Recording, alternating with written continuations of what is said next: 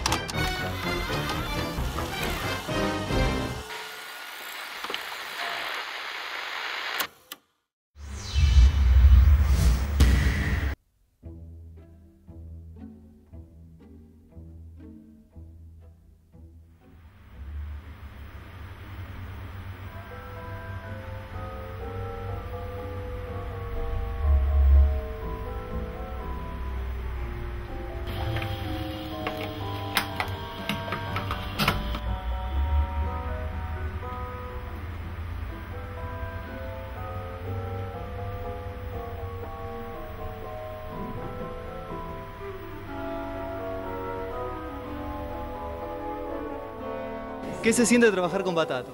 Eh, lo mejor, Batato es mi amigo, es mi hermano, es mi maestro y todo eso. Laburar con él fue bastante difícil en el paracultural al principio, viste, tiene un carácter, y cosas, pero ahora que nos conocemos más, eh, es como mucho más fácil. eh. Me parece que la gente cada vez responde más que necesita estas cosas, necesita desborde ¿no? y, y hacer un poco de quilombo. ¿Y la ruptura de ustedes por dónde viene? Eh, nosotros ya estamos rotos del principio. El loco mezcló cosas muy, muy fuertes, mezcló travestismo, mezcló la, la mujerona que se llevaba adentro con la policía que estaba muerta. Estoy orgullosa, a pesar de que algunas mamás dirán, ¿cómo va a estar orgullosa? No, no, no, no es así. Las mamás tienen que apoyar a los hijos como sea. Cuando llegué de Campana a mediados de los 80 para estudiar teatro en Buenos Aires, una noche fui a bailar a Cemento y ahí lo conocí a Batato. Batato hacía unas performances en Cemento donde te metía abajo de una tela y te adivinaba la suerte. Yo le fui a hablar porque me había peleado con mi novia de ese momento y estaba muy triste, pero en vez de hablar de mi novia, hablamos de Alejandra Pizarnik, que era nuestra poeta favorita. Entonces, antes de irme, me dio un papelito que tenía un fragmento de un poema de Alejandra Pizarnik y la frase Soy Batato con su número de teléfono. Lo llamé un par de veces y hablamos, sobre todo de Alejandra. Cuando llegó el momento de realizar eh, la tesis de cine documental en la escuela de Avellaneda, donde yo estudiaba, decidí filmarlo a Batato. Para eso fui eh, a los camarines, a las obras de teatro, y hasta que al final le hice una entrevista en su casa, donde me contó cosas que no me había contado nunca. Hola Fabio. Eh, vamos a Jean Lloré y Celaya. Sí, toco ahí en el, en el teatro, es el cubo. Es un teatro que antes no, no estaba, antes ahí había un, baldío. Tiene como, como una carga para mí porque yo tenía un, un amigo eh, que vivía a la vuelta de ese teatro sobre Tucumán. Y de la ventana de la casa de él eh, veíamos el, el baldío. Y es increíble, bueno, mi amigo eh, era actor, eh, falleció mi amigo. Y bueno, y, es un flash que le hayan construido un teatro en, donde estaba la, ventana de, de la casa. Eh, Batato Barea. Era un actor del, del.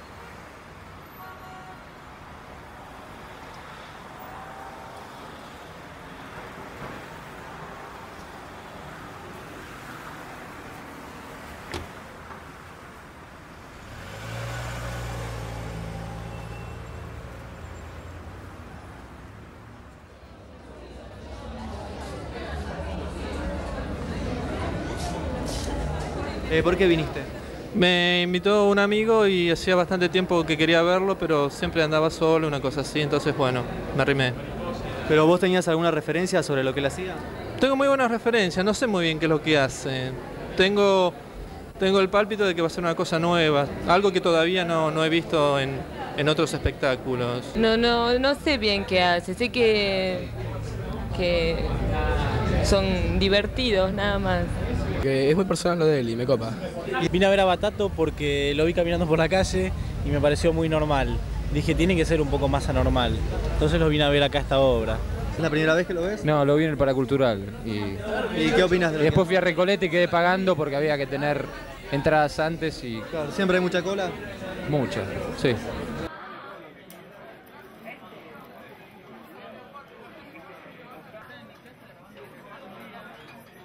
Es el disco por 10 pesos. Puede ser sin beso también. ¿Quién quiere? ¿Qué quiere el amigo del disco? Venga, 10 En mis entrañas, llenas de carne, solamente hay carne. Y viento y fuego y marea. Cuando anochece y en la TV aparecen Raúl Portal, o Nelly Trenti, o Mirta Legrand, o Canela, con sus consejos, con sus verdades, porque son verdades que dice Canela. Me distiendo entonces en el sofá cama que tengo en el living room y me digo sinceramente, llena de dudas, con los dientes apretados y los puños apretados como aprendí en la gimnasia molecular. Me digo si será cierto que los recuerdos no valen nada. Si esta existencia alocada, trémula, loca, loca, loca, loca, si este vértigo, si este mare magnum de cosas y cosas, si este ganarle la vida y absorberla y sorberla y sobarla y mamarla, será para dejarme estar en la carcajada, para de repente ir al almacén y me traten como una señora que compra 100 de salame y una leche cultivada. O que me cedan el asiento en el colectivo, o para no parir nunca. Porque dentro de mi corazón hay sangre, y dentro de mi sangre hay cosméticos. Y a veces me pregunto, cuando tengo las patas en la palangana de tanto taconear por baños públicos y murgas, me pregunto a veces si tu sonrisa, si alguna vez tu sonrisa, tu sonrisa, tu sonrisa de chongo de cloaca, tu sonrisa como una flor alada y rosa, tu sonrisa como una muerte redonda y pequeña, si tu sonrisa, si tu sonrisa, qué sé yo. De más está decir que el tiempo carcome la carne, el- también los, los dientes se pican y el alcohol fija las grasas. Todo lo de esta vida desaparece como una espuma. Todo se hace nada, el beso de nuestra madre, el beso del amor ese, el beso de ese otro amor, el beso de la vida desaparece y el beso de tu sonrisa. El beso desaparece como una espuma de un mar enorme. Desaparece como un mar enorme, como una espuma de un mar enorme. Como un mar enorme, desaparece como una espuma de un mar enorme. Como un mar enorme, como una espuma de un mar enorme, como un mar enorme. Desaparece como un mar enorme. Todo desaparece como un mar enorme, todo se hace nada. Todo desaparece como un mar enorme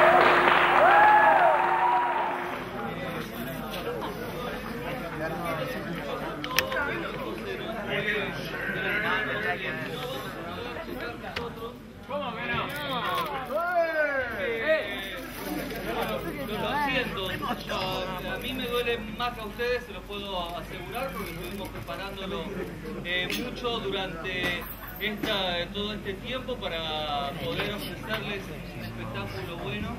Y, Levantamos igual, bueno, Peter.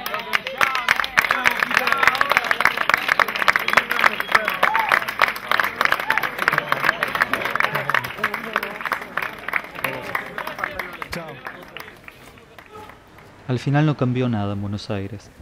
El under sigue siendo lo mismo. Cuando Batato actuaba en el paracultural venía la policía. La diferencia era que se lo llevaban a todos. Ahora la policía viene, clausura el lugar y no te deja tocar. No sé. Quizás si hace 18 años no me hubiese cruzado con Batato y venido a esta casa, no sé, por ahí estaría haciendo otra cosa.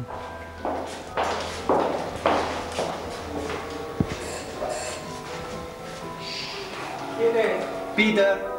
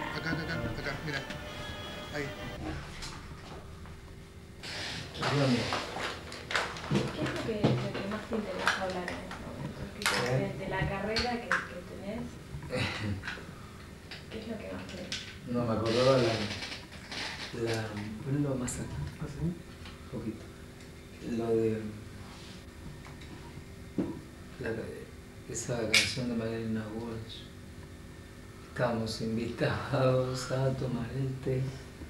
La tetera es de porcelana, pero no se ve. Yo no sé por qué. La leche tiene frío, yo la. Le pongo sobre todo niño, largo hasta los pies. Yo no sé por qué.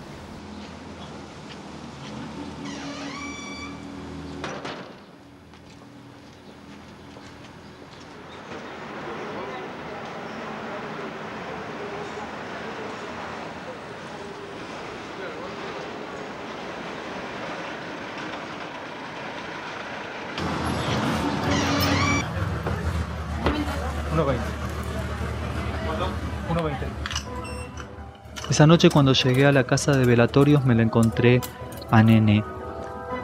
Nené eh, me dijo que Batato se había estado acordando mucho de mí los últimos días que había estado internado y que le pidió por favor que se comunique conmigo porque él me había dejado un montón de videocassettes y de fotos con actuaciones, con cosas, que él me había confiado todo eso a mí y que no quería que se pierda.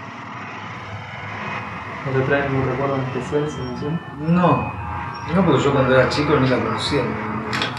Yo vivía en el campo, o sea, no, no conocía nada, ni que había televisión, nada. ¿En el campo donde vivías? En Junín. Junín Rojas. A mí me pusieron de nombre Walter. Era un nombre que siempre odié, odié, odié. ¿Por qué? Walter, Walter. Porque no me gustaba, yo quería elegir mi propio nombre. No me gustan las cosas que me ponen. ¿Y la relación con tu papá cómo era? No, era bien en ese momento. Después, en la adolescencia empezó más. ¿A ser más tirante? Claro.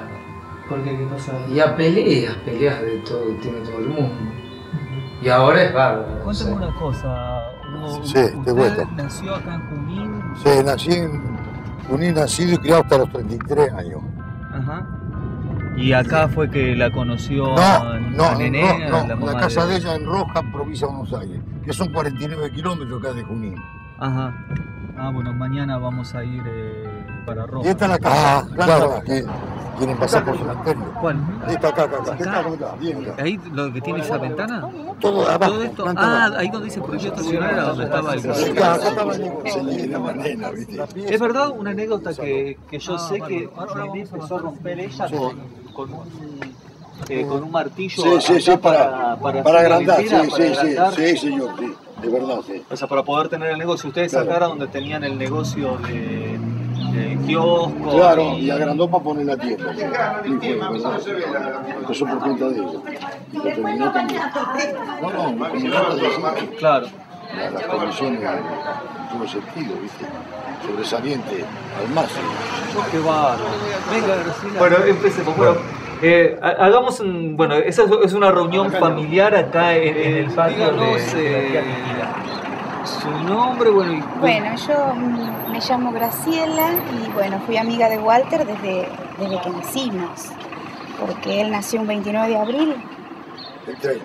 del 30 y yo Bueno, nací ¿cómo el le va, 1 de? Usted fue la maestra de, de Walter en. Sí.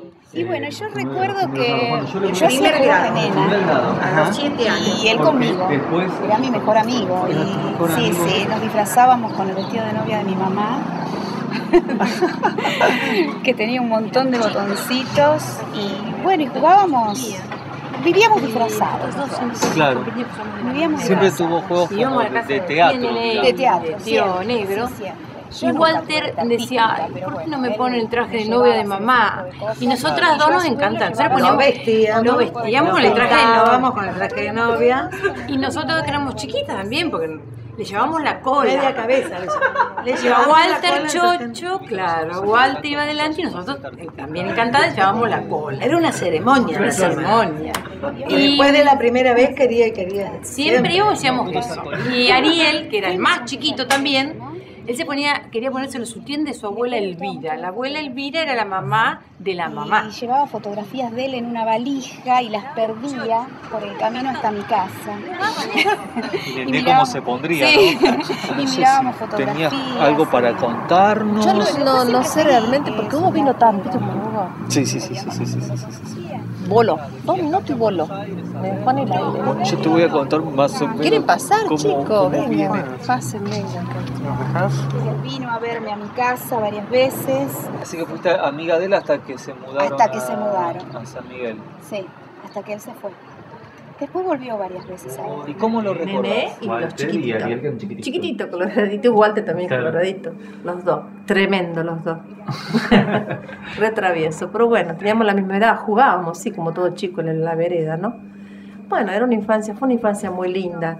Eh, todo después cambió cuando ellos se van a San Miguel, que se, se mudan, no sé, venden todo, se mudan porque nene, bueno, re- reniega mucho. ¿Cómo lo viste vestido de chico? de no, Ariel no, nunca, no. No. Pero vos fíjate que cuando eran bebé, cuando eran bebé, que tenían 3, 4 años, 5, igual que no, siempre fue macho, pero así esos chicos tremendo para tremendo que vos decís, no, ¿viste? No puede No ser. te, no te imaginabas no, que no, después nunca me lo podía imaginar. se iba a transformar no, tanto. No, pero Ariel sí, siempre fue una nenita. Ajá. Una nenita, vos lo, no lo conociste. No, Ariel. a Ariel no. A ver. Yo de acá de Junín me acuerdo muy poco. Nosotros nos encontramos en, en Buenos Aires cuando ellos, eh, Ariel y Walter, Ariel tendría, qué sé yo, 14 años, este, y Walter tendría 16 más o menos, una cosa así. Y se fueron a vivir a Buenos Aires, porque los padres estaban en San Miguel. Este, el ¿Ella se vestía de mujer en esa época o todavía...? Ariel, eh, sí, ¿Y a Walter cómo le caía que Mal. no le gustaba que, Para que nada, le- le- muy mal. Este, en el curso de su, de su vida después cambió mucho, porque Ariel fue la inspiración suya. Y en esa época, haber asumido y haber transexualizado, ¿cómo es la palabra? Transex- sí, tra- travestido. sería. Travestido, bueno, esa es la palabra. Era todo una, digamos, violación a todas las normas, porque hoy vos ves una persona de ese tipo, ves una persona que claro. y está Claro. dentro de lo lógico y de la convivencia y es aceptable. En esa época era muy, muy, muy castigado y muy Y Ariel en este periodo era, era muy rebelde. Eh, del hecho mismo que después de esos años la peluquería, eh, vuelve a San Miguel, que fue una- un, un gran error, del que era donde vivían los padres, y, y, y- y pone la, la peluquería, que eran los peinados Yoli, creo que con una amiga de él. Tenían una lucha, wow, Dios pobre. Ellos tenían una, una pileta muy grande ahí en, en ese salón de fiesta que tenían en San Miguel, ¿viste? Cuando Sí. se mudan. Y claro, y estaba Marta, me acuerdo, y estaba Ariel, estaba la, la abuela de Ariel, estaban todos bañándose y bueno, y le tenían miedo a porque Hugo era como que no lo acepta, recién ahora Claro. lo está aceptando, entre comillas, ¿me entendés? Y Nené en esa época tampoco lo aceptaba. No es que no lo aceptaba, Le costaba. le costaba porque no se usaba, porque era un tabú eso, ¿me entendés? Sí. Porque ella le dice que prefiere, prefería verlo muerto antes que ella, que de verlo así, ¿viste? Porque un día lo descubre en la madrugada que se ve que se vistió. Se sé de yo. chica. No, está todo bien. Em, pero bueno, ella siguió luchando, ¿viste? Sí. Siguió luchando para... A ella también le costaba, ¿viste? No podía entender que fuera así. Pues yo creo que, que el primer hijo que se mata, Ariel. también fue porque ella le, tampoco lo entendía, no lo podía entender. Que también el hijo era así. Lo que pasó con, con. Ariel ese día, que fue el día que se, que se suicidó, que era un domingo, y, y yo estaba haciendo teatro y me viene a buscar eh, Batato para que ir a San Miguel, a la casa, eh, este, y yo estaba pareja con un chico ahí y, y yo estaba muy cansado y además cansado de las discusiones de, que se creaban por, por Ariel, ¿no? en familia, por, por defenderlo. Yo no quería mucho a Ariel. Y ese día estaba cansado y dije, no voy yo. Porque no quería ir a, a pelear pues, de nuevo a la hora de comer y todo eso. tenía muchos problemas con, que con Hugo, con Nené. Y tenía con los dos, esencialmente con Hugo, pero eh, con- básicamente nosotros veníamos de una familia eh, machista, ¿no? Que no- Entonces estas cosas provocaban unas cosas terribles. Y además el chico era, eh, Ariel era chico, y el otro también. Este, y yo estaba un poco cansado, no quería ir a discutir a la hora de comer y todo eso. Adolfo, que estaba conmigo, era un chico joven, él fue, porque él se había hecho amigo de Ariel a través de mí. Y él fue testigo de todo esto. Estuvo ahí presente cuando este, se encerró, estaba tomando al- algo de medicación porque estaba mal, estaba deprimido. Y después me llamó Walter enseguida cuando se suicidó, que tomó la pistola y se encerró, hubo que sacarlo de la, de la habitación donde estaba encerrado. Y a las tres me encontré en la morgue, yo, ah, este, que me llamó Ariel y estuve con él, eh, con, ah, con Walter. Digamos, lo vi ahí a, a Ariel como estaba, hablamos con los médicos. Y bueno, fue terrible eso. este, y creo que lo marcó mucho a Walter esto. Eh, entonces, este. parece que lo marcó eh, en, en- en un aspecto eh, como positivo también? O sea, como que... Sí, sí. Negativo positivo. Esencialmente fue la compañía. creo que siempre admiró la libertad que tenía Ariel para hacer las cosas. Era como que él eh, siempre quiso volver a la libertad que se permitía Ariel. Este, siempre en casa tenía un retrato de él al lado de, de, digamos, de donde dormía. Y cuando ya en el último periodo, un día lo encuentro por la calle antes de irme yo y lo encuentro vestido ya de chica, dije, se está acercando mucho Ariel. Este, ya era él prácticamente. ¿no? Lo- la primera vez que me lo encontré en la calle fue sorpresa, porque no me lo había dicho. Y, y tenía todavía ese pudor que había tenido siempre Batato, que era, se sintió como pidiéndome permiso, ¿no? Como diciendo, ¿lo estoy haciendo bien o no? Esto, ¿no? Y así era invierno y estaba muy despechugado. Yo sabía que estaba enfermo, entonces ya era so- sobre los últimos años, antes que yo me fuera. Entonces eh, empezamos a reír, nos empezamos a divertir de esto y... Bueno, y no me olvido nunca, me dice, eh, Gustavo, no, yo no en auto en esa época, no me llevaba al centro. Y le digo, sí, ¿para qué? No, dice, porque yo en el centro esto empecé a trabajar, me gusta el teatro. No me olvido más de ese viaje. Ese viaje para mí fue un poco el último de su vida. Lo llevo, a un, no sé, no me acuerdo qué, qué barrio, y me dice, bueno, creo que ahora empieza una vida distinta mía. Me dijo, eso no me lo olvido más. Le digo, sí, sí, sí, porque mi vocación es el teatro. Y bueno, imagínate, fue no- en ese no periodo que Nené me dijo, bueno, con lo que pasó, solo me queda que te quedes vos eh, ahí en Peña y Uriburu con él. Porque ni yo ni el padre podemos hacer nada, ya, porque se hubieran fracasado los dos. Yo estuve con él dos años, fueron terribles ahí en la casa. Eh, porque él estaba malísimo, estaba muy deprimido, muy mal. Y empezó a trabajar en la esquina de las flores, ahí eh, empezó a trabajar de camarero, yo trabajaba ahí. Este, y teníamos un altillo, arriba una habitación. Cuando se peleaba con eh, Ariel con, con Walter, se iba a dormir arriba. Y cuando había viento, hacía frío, la puerta se movía y él me, salía al patio y me decía, es Ariel, es Ariel. Eh, No, y entonces empezó a hacer un poco, fue a la psicóloga, estuvo, pero estaba mal, estaba, estaba mal y, y- y- a mí me pesaba el hecho de, bueno, de qué hacer por él, ¿no? Este, Y ahí eh, siguió con el teatro, siguió trabajando. hermana de Hugo, la sosteníamos nosotros. la tía, de, la tía y la madrina de Walter. Vino otro chico más. Eh, estoy un poco emocionada. Eh, bueno, fue un chico muy querido por todo, pero tuvimos muy poco contacto porque se fue a vivir a Buenos Aires y como se dedicó a lo de él, habrá pensado que nosotros no los que nosotros no lo aceptábamos, pero estaba equivocado, porque en la vida cada cual es lo que tiene que ser.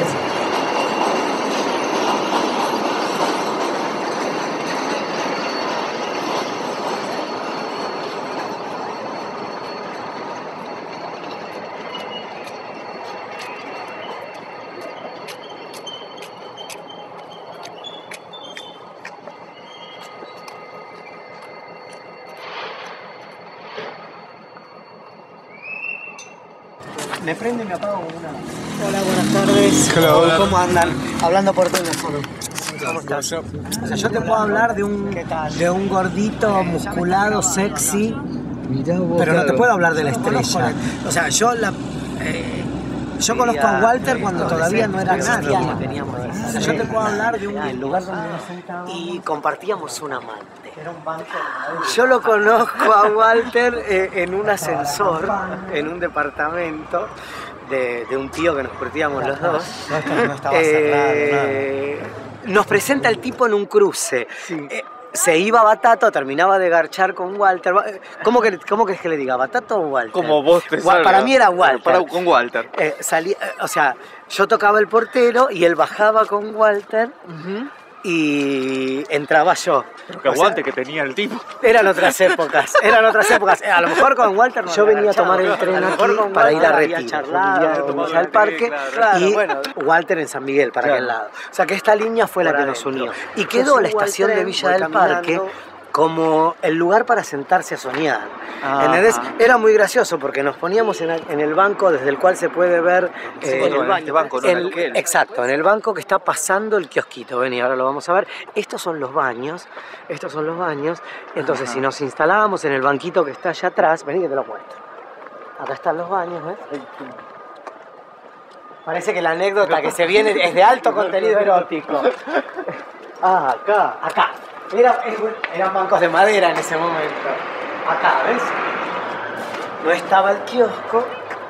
Y entonces Tenía estaba una vista privilegiada de quién Claro, entraba, y estábamos escondidos, o sea, y veíamos quién entraba y quién salía. Nunca, nunca fuimos de la tetera, por lo menos Claro. yo y en ese momento Walter tampoco. Pensá que éramos muy chicos. chico, claro. Eh, y- pero nos divertía la idea esta de ver entrar y salir. una fascinación y un descubrimiento adolescente también de, de que hubiese toda esa sexualidad tan a sexualidad, mano. Claro. Exacto. Entonces este era como el lugar para charlar, para donde Walter decía, yo sé que vos vas a llegar, Ronnie. Y vos sabés que él nunca mostraba una faceta artística. Él tenía como una fascinación con la poesía. Claro. Y era, ¿querés que nos caminemos o nos quedamos acá? Sí, podemos ir un poquito más, más para el sol. Eh, para- vamos para aquel lado. ¿Para allá Eh, querés ir? Bueno. Dale. Él mostraba como una fascinación con la poesía muy grande. ¿Y sabes qué tenía a mi criterio? Más que nada en esa época en la cual todos empezábamos a, a rebelarnos Sí. y, a, y, a, y a querer gritar esto que nos estaba pasando. Él era como un pibe muy domado, muy para adentro, muy... mm, ¿Cómo te podría explicar? Como como muy chiquito, como muy... Sí. Después cuando uno ve, ponete de este lado, que así después pueden editar. Eh, cuando uno ve cuando uno ve la explosión que hace Batato después de lo que fue eh, el Club del Clown, los peinados Jolly y todo lo que le hizo, todo lo que le hizo sí. después en el Paracultural y en el Rojas, parece, parece mentira, porque era un niño, ¿sabes? Era como, tenía como este cuerpo de hombre de los años 50, como de, de- de chongo musculado, gran espalda, cintura chiquitita, piernas fuertes, pecoso, cuerpo pecoso, blanco, eh, y, y con una cara de nene bueno que no se podía creer. Y tenía algo que era como que estaba muy preocupado por lo que le pasaba a los demás. Ajá. Él estaba como muy preocupado porque vos estés bien, porque vos puedas cumplir, como que vos puedas llegar a cumplir tus sueños. Y él no hablaba de los de él. Por eso a mí lo que me pasó fue que en un momento dado cortamos, cortamos relación, no porque nos hayamos peleado Claro, nada, sí, sino sí, porque sí, sí, nos sí, dejamos sí. de ver en el camino. Y lo vi en la publicidad del, del marinerito De que hacía para Hecho en el Balde. Y hasta envidia me dio. ¿Entendés? Porque él que no hablaba, que no proyectaba, que no decía todo lo que le pasaba, había hecho el camino mucho más rápido. A los 23 años empecé teatro. Recién. Hace 7 años. No, antes no.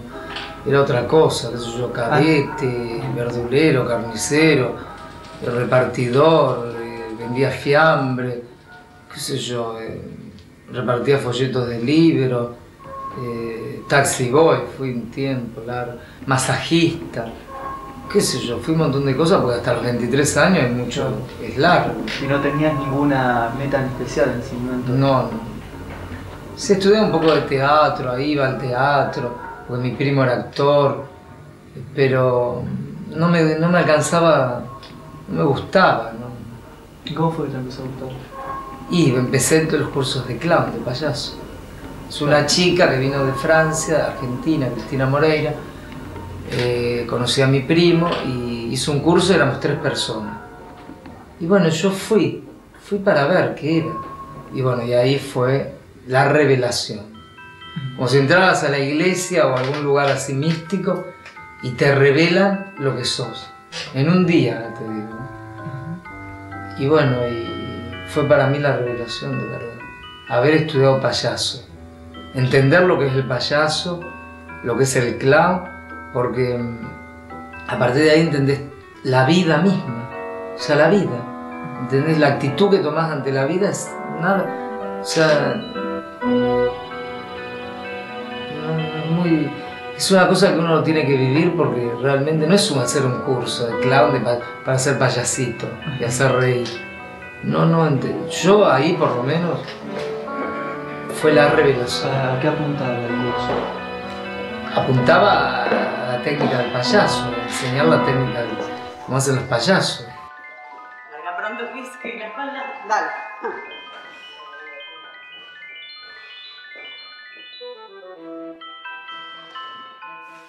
Quiero, quiero desprenderme. Quiero desprenderme.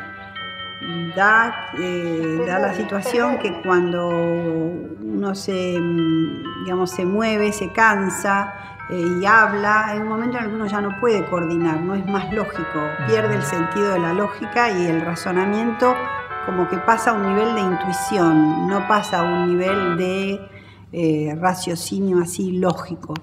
Y en ese momento yo les sugiero que se ponga la máscara del clown y que mire al público, con lo cual le doy todavía un empujón más para que se corra de, de los criterios establecidos lógicos y que deje volar un poco su imaginación, sus sentimientos, su intuición. Y en, esa, en, esa, en ese tipo de ejercicios, algunos alumnos, y en este, este fue el caso de Batato, encuentran un qué decir, ¿Qué, ¿Qué es lo que dice? Digamos, si uno se deja llevar por el estado del clown, que, que para, para mí significa entrar en un estado de inocencia, que, que- que implica, la inocencia implica eh, ver todo por primera vez, eh, estar curioso, ser eh, puro es como demasiado, pero dejarse impactar sin juzgar, sin criticar y sin enjuiciar, eh, eso es el estado del clown. Muchos venían diciendo que, que tenían como un recuerdo del trabajo de payasos cuando eran chicos, ¿no? que era como esta cosa muy expresionista, con mucho maquillaje, con mucho grito, eh, con golpes, clacs y todo esto, que a ellos como, como chicos les daba miedo. Claro. Mucha gente se acercaba diciendo que, que el, que- que el payaso para ellos era una cosa que despertaba miedo.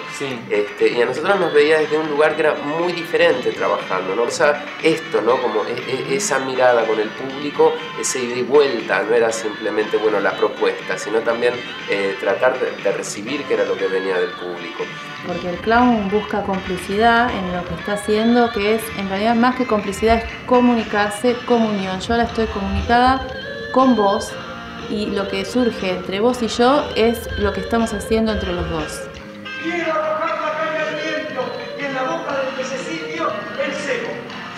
El, recibir eso también nos daba el impulso como para seguir probando, trabajando un poco. Yo al principio, la, la verdad, me daba mucho, mucho miedo. Para mí era eh, mm, terrible cada vez que íbamos a una plaza, porque éramos muy caóticos también. Cada uno tenía una energía distinta. Este, y quizás para quienes teníamos más una formación en teatro, era un poco como un papelón, ¿no? Estar haciendo lo que estábamos haciendo.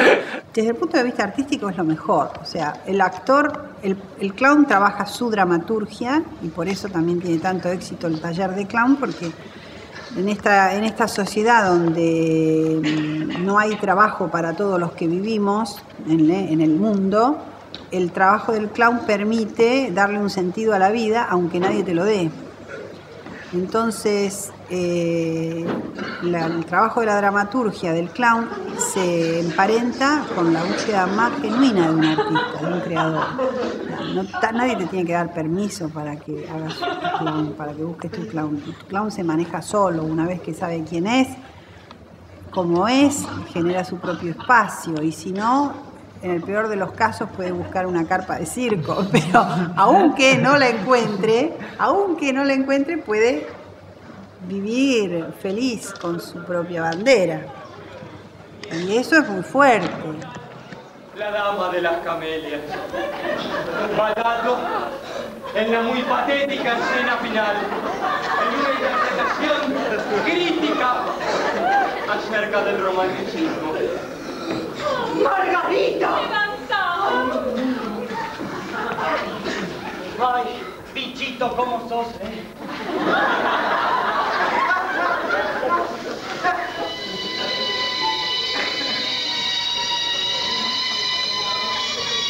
Dani, abre las ventanas y que entre la luz del día. Voy a levantarme otra vez. El clown eh, está vivo en ese momento con lo que sucede, está conectado 100% en lo que sucede y lo que sucede es lo que está pasando en el momento y de acuerdo a lo que pasa en el momento, él también se va modificando y va modificando su acción. Gustavo, ve a abrirle. Ya mismo, amor.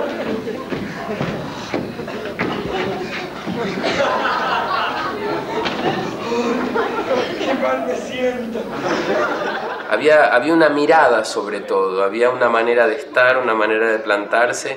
Ya era gracioso, yo me acuerdo que por ahí pasaba y hacía esto con el dedo y te estabas matando de risa. Y uno mismo no entendía por qué y uno decía, pero es un idiota, este es un tarado, que haga algo. Era tan gracioso, es como que usaba él justamente esa misma voluntad del público, de verlo hacer este, para ponerle a esto una resistencia y lograr el humor desde, ¡Siendo la culpable!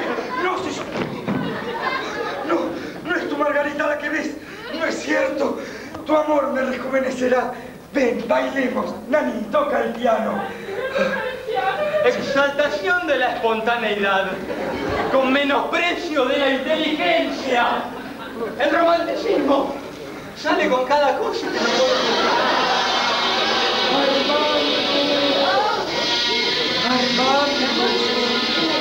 Armando, aquí, aquí,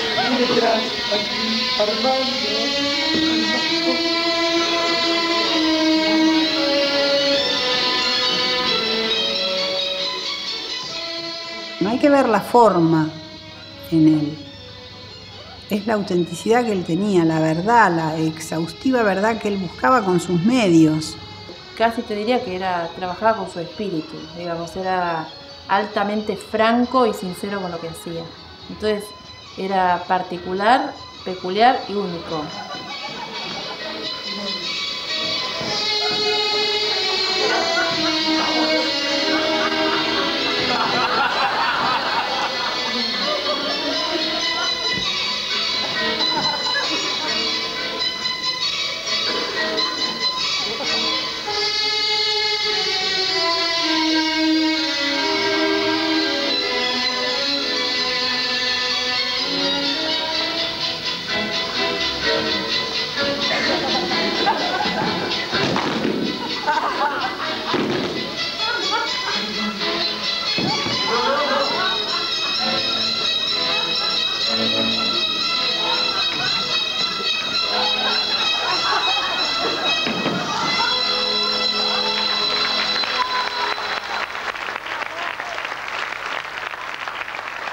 Con su enfermedad, ¿vos eh, sabías que él estaba enfermo? ¿Él te había... Eh, lo había hablado con vos? Sí, lo sabíamos, todos los del club lo sabíamos. Este, o sea, apenas él se enteró, él, eh, me, me llamó por teléfono y vino a casa y me y me contó y este, después me acuerdo que eh, como yo tenía una tía que era bioquímica y trabajaba en el pirobano y qué sé yo qué, le hice hacer de nuevo los exámenes por las dudas y todo esto y no, era, o sea, e, era, mm, estaba en una situación bastante comprometida ya desde el principio. ¿En qué año fue esto más o menos? Eh, esto fue en el 80 y, 85. Sí, cuando fuimos a Cuba ya estaba absolutamente todo claro, ya sabíamos todos cómo, era la historia, eh, así que yo supongo que ya desde el, desde el 85 lo sabríamos. Este, que, lo habló, yo le dije que me parecía que, era muy terrible que se quedara con eso y que no... Y, lo habló con, con, nosotros, con el club en terapia, y fueron muchos años de mantener. Yo incluso pensé, si me, si, si me preguntarías esto y si hiciera un tiempo, bueno, pasó mucho tiempo, ¿no? Pero este, hubo creo que en todos nosotros eh, un compromiso como de, de callar en relación a esto. Él tenía mucho miedo este, y es lógico, era una época en la, que, en la que daba mucho miedo, daba mucho miedo que era lo que podía pasar eh, con uno con la salud y que, y que, era lo que podía pasar socialmente también. Él tenía mucho miedo de quedarse sin trabajo. ¿no? Sí, y este... Entonces este, fue, fue nuestro, nuestro secreto por muchos, muchos años. Yo eh, realmente alguna vez leí en el, en el diario ¿no? que este, eh, Batato que murió por SIDA y qué sé yo qué, y en ese momento sentí que para mí era una liberación. Eh, no, yo me siento bien, o sea, en general me siento bien. Hay épocas que, estoy, que me agarra alguna enfermedad o algo y bueno, ahí es lo que me deprime. Pero si no, estoy bien. Y, mientras también tenga trabajo, porque hay épocas que no que, que trabajo pero que no gano plata y... ¿Vos vivís del teatro? Margarita, ¿dónde está su pulso? ¿Cómo se encuentra usted ahora? Mejor y peor, mal de cuerpo, pero bien de espíritu, pues me siento tan a la diferente que usted me dedique la primera visita de la mañana. Bien, Margarita, descansa. ¿Qué opina, doctor? ¿Ella cómo se encuentra? La tisis no lo otorga, sino pocas horas. Cada vez hay menos valores en los cuales creer. Y para que uno pueda creer en algún valor, eh, tiene que haber gente que sea auténtica con sus valores. Y entonces uno puede apoyarse de alguna manera, tener referentes, tener maestros, tener este, líderes, eh, tener oradores. Tienen que ser cosas profundas, auténticas. Yo creo que el actor es un orador y ese orador necesita un cuerpo auténtico, no puede ser un orador eh, de la boca para afuera y, un falso, un falso orador, ¿no? Entonces, la escuela de teatro, las técnicas, ¿a dónde apuntan? Apuntan a que el joven intérprete de alguna manera tenga herramientas para poder abrirse y decir lo que tiene que decir a través de un texto de otro o de un texto propio, pero se transmite igual. Cuando vos ves un actor interpretando Shakespeare y te conmueve, es porque ha hecho propias las palabras, pero además él puso en esas palabras una verdad, la verdad propia de él. Si no, no te, no mueve ni un pelo. No, no, no, no, no, no, si ya no sufro, si hasta parece que entrara en una nueva vida.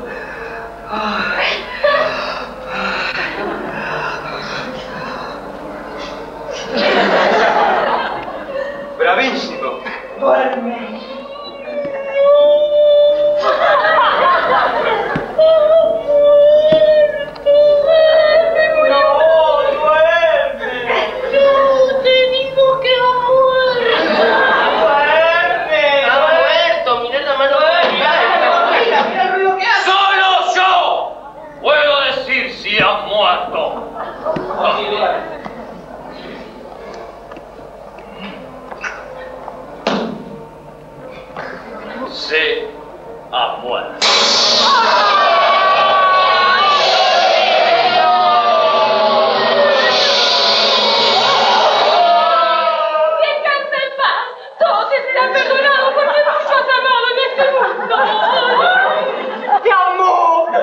su postrer instante! Alejandro Dumas, hijo, 1824, 1890.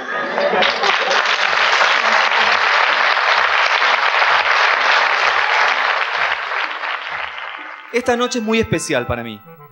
Es muy especial porque después de todo un largo recorrido, he vuelto a estar otra vez arriba de este escenario.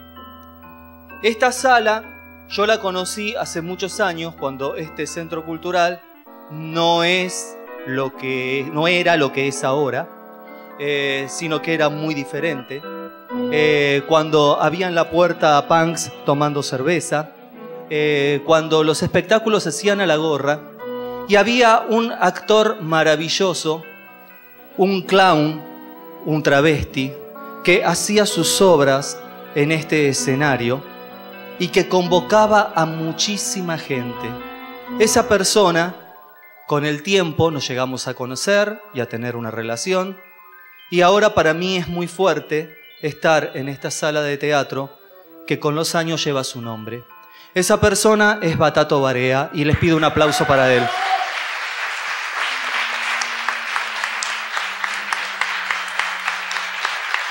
Así que por eso la próxima canción se la voy a dedicar a él.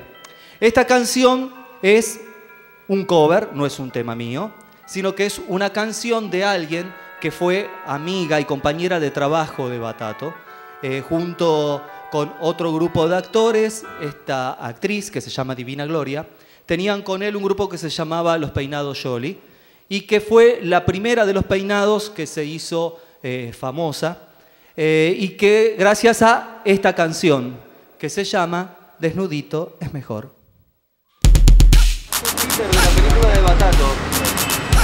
Gracias.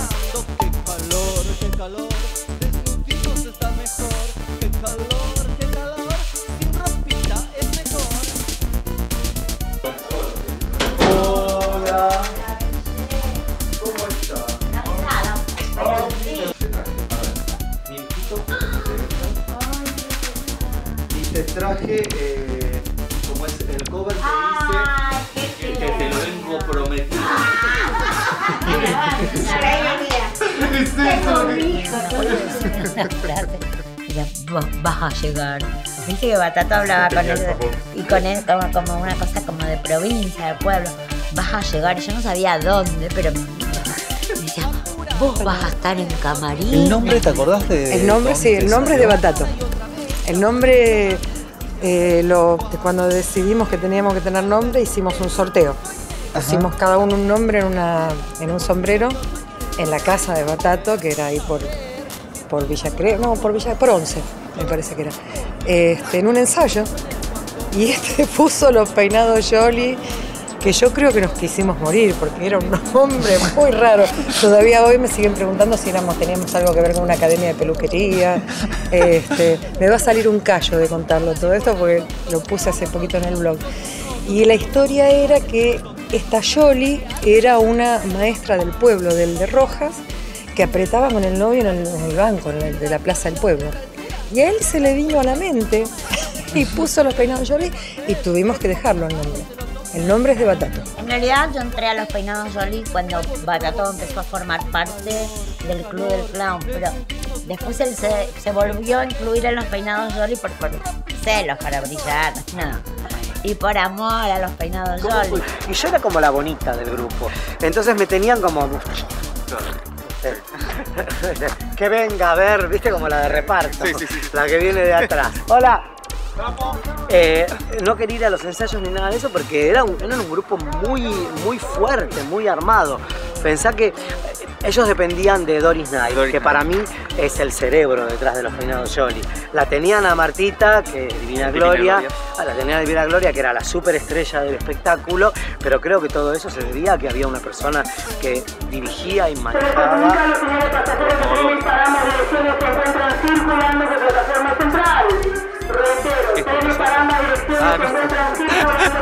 Eh, yo soy como collagista, ¿viste? Me da la sensación de que yo soy collagista. Yo agarro cosas Sí, que tienen significados diferentes, las ensamblo y el resultado es algo que habla como por sí solo.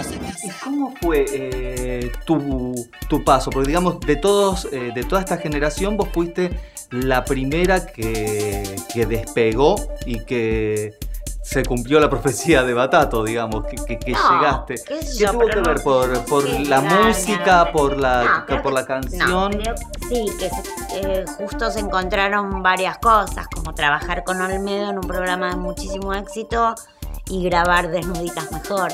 Como que coincidió todo ahí, creo que Piano Bar y tener un el único cuadro que había con Charlie García en el escenario, lo hacía yo porque todos lo- los otros cuadros eran como a 5 metros de altura en una pasarela enorme que había en el Luna Park. Creo que todo eso conjugó, viste, como cuando se conjuga para Sí. la gracia y a veces para la desgracia. Bueno, esta vez fue la gracia, ¿no? ¿Y vos Las siempre- gracias ¿Y vos divinas. siempre te, te mantuviste igual en contacto con ellos a pesar de estar trabajando en la televisión, en, en los teatros de calle Corrientes? Todos hacemos todo, todo el Claro. tiempo, lo más que podemos. O sea, por el- o sea, si no es corrientes es por el abasto, si no es por el abasto es por amigos, o qué sé yo, son como cosas que te marcan mucho. Thank you.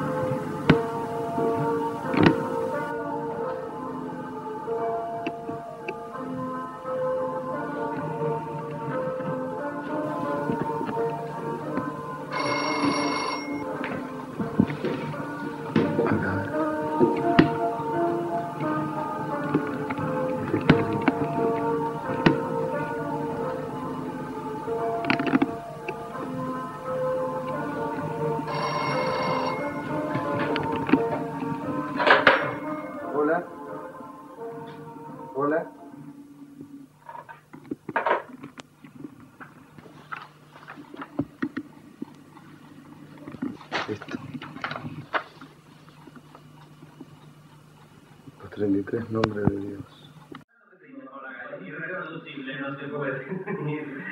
Batato, porque la gente te quiero presentar al público que viene a mi programa, ¿no? ¿Cómo te definís tu profesión? ¿Cómo es?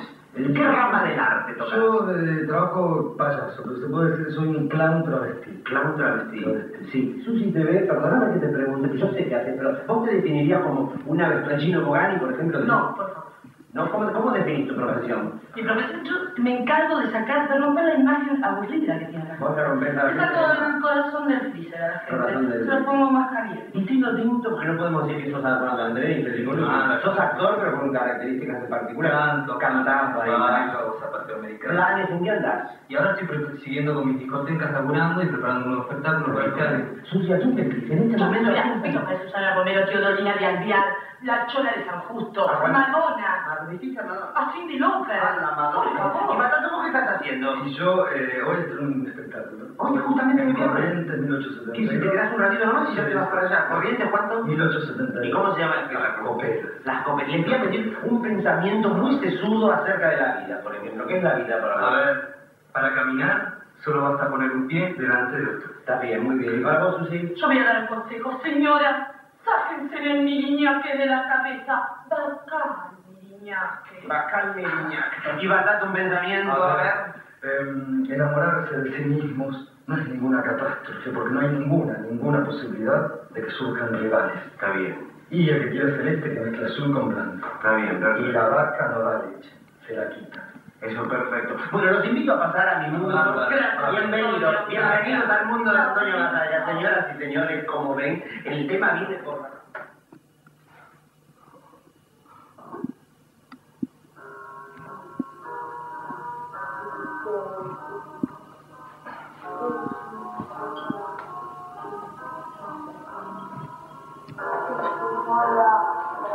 Yo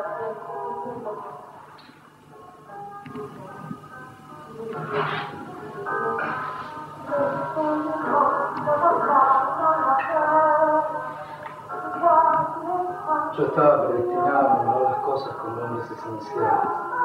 Yo ya no existo y lo sé. Lo que no sé es que vive en lugar mío. Pierdo la razón si hablo. Pierdo los años si callo. Un viento violento con todo. Y el no haber podido hablar por todos aquellos que olvidaron su canto.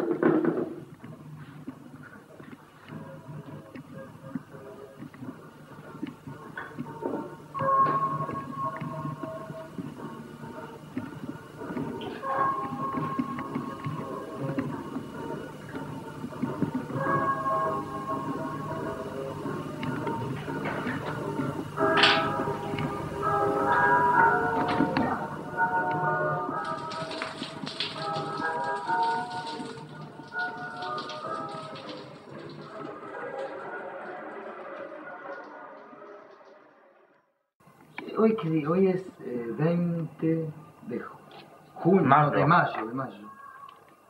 Y el año es mil... 88. 1988. 1988. 1900, como decía mi, mi profesora de... 1900. 1988. ¿Profesora de qué era?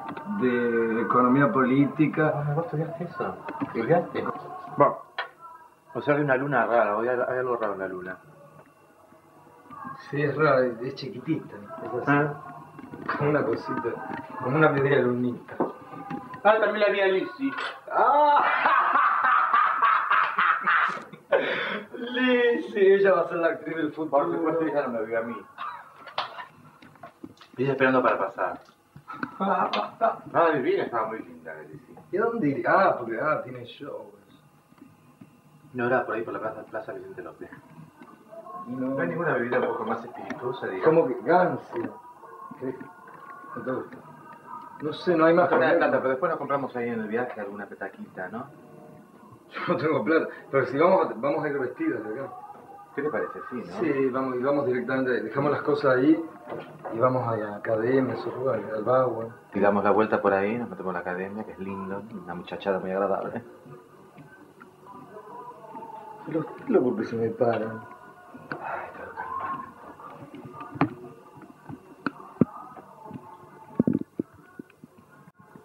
Él sabía su destino, él sabía qué estaba haciendo, y eso es como una cosa muy rara, ¿viste? en las personas. Si vos sabés eso, en realidad este, te pones a escribir el destino que te tocó. o sea, ¿eh? o no, pero eh, un artista se pone a escribir ese destino que le tocó. Y él hacía eso, escribía su destino, lo hacía. Y eso era muy importante. Es decir, él traspasaba todo tipo de problema eh, boludo que pudiera haber en su vida, porque siempre tenía otro motivo que era más serio, más espiritual, pero no de autoayuda, sino de, de persona en serio. Era una persona en serio y era un payaso. Qué loco, ¿no?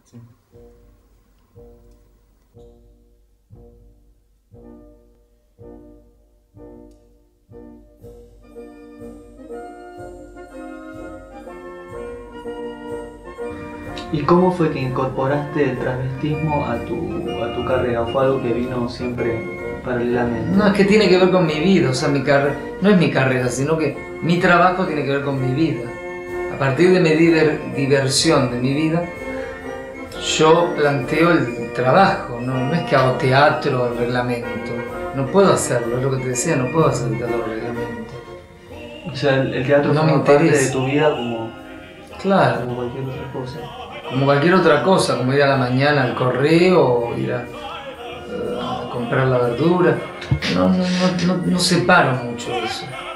La idea es eh, comprender que en este mundo por el que uno pasa, si perdés el pie y no haces lo que querés hacer, la verdad que lo vas a pasar mal.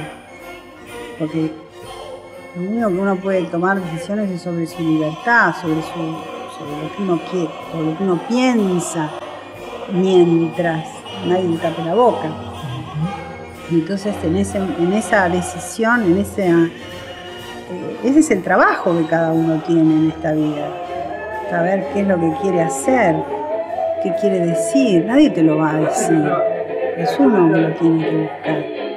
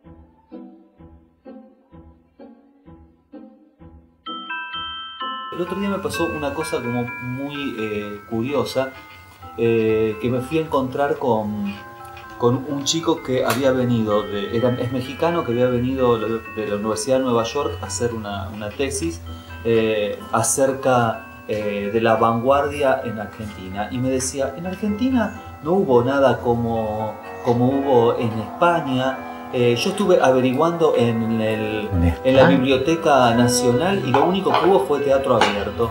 Me, dijeron que hablé con vos. Eh, Bien mandado. Eh, como es por eso, bueno, cuando yo le empecé a contar de todo esto, me dice, ¿y por qué no hay material de todo eso? Yo le digo, bueno, justamente estamos haciendo esta película para que Claro, es verdad. Pero por eso, pero que sea eso. Pero, pero ¿sabés qué pasa? Yo no sé tu nombre verdadero. ¿O cómo te dicen? Peter. Ah, te dicen Peter. Bueno, no quería saber el nombre. ¿Cómo te decían, te quiero decir? Peter. Este, de verdad, si yo leo el eslogan que dice el, clown travesti que facilitó a llegar a la televisión a Urdapilleta y a Tortonese, digo, pero esto es un, la frase entera es un desconcepto absoluto, porque ni, ni- ni queríamos, ni creemos en, la- en- en que llegar a la televisión sea algo, ni que la televisión sea algo, ni que ni quisimos llegar a la televisión, nos importa un carajo la televisión. No nos importó ni nos importa. ¿Y, y vos eras consciente de, de todo eso en ese momento? De, de que estaba cambiando los lenguajes, Sí, Lo que pasa que de cambiar los lenguajes, podría sí. ser que nosotros en el escenario lo empezamos a bailar. Entonces miramos al público y le decimos que lo ponga de nuevo y que lo empiece de nuevo y ahí bajamos a bailar con alguien. ¿Querés? ¿Tenés Es decir, este, cada uno traía su, No, no, no. su bagaje. Yo quería romper No, no, no. Justamente con lo que te dije de todos los 70 y eso, y de divertirme, venía de vivir muy libremente en, España y, de haber hecho lo que quería después de muchos años de, bueno, de haber vivido acá. Y Batato tenía sus motivos para hacer lo mismo. Este, su, su- su historia, su hermano, su- su mundo interno. Entonces, con- y, y su búsqueda, era una búsqueda de libertad en realidad, era y, ejer- y ejercer la libertad, era divertirse, era, era romper y, y- y contagiar. Profesional, hizo todo.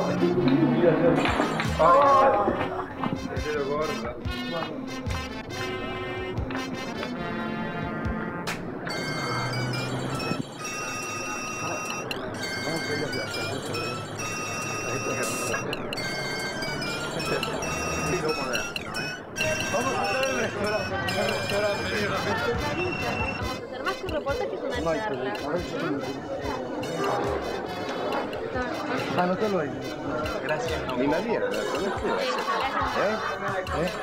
¿Qué pasa? ¿Qué? ¿Qué pasa? Recién estoy caminando. Sí. Viva. Qué gente, me hizo echar. Me echaron. Me echaron. Me echaron. Pero me echaron, ¿qué tengo? Toma, nene, vos que sos tan lindo. Mira qué rica. ¡Oh! ¡Qué peluquera! Papirri, ¿no tenés una...? ¿Qué cosa?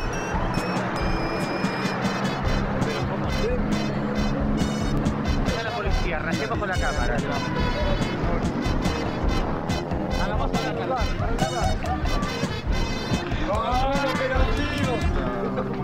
Van a. No, no, ahí. A la cartelería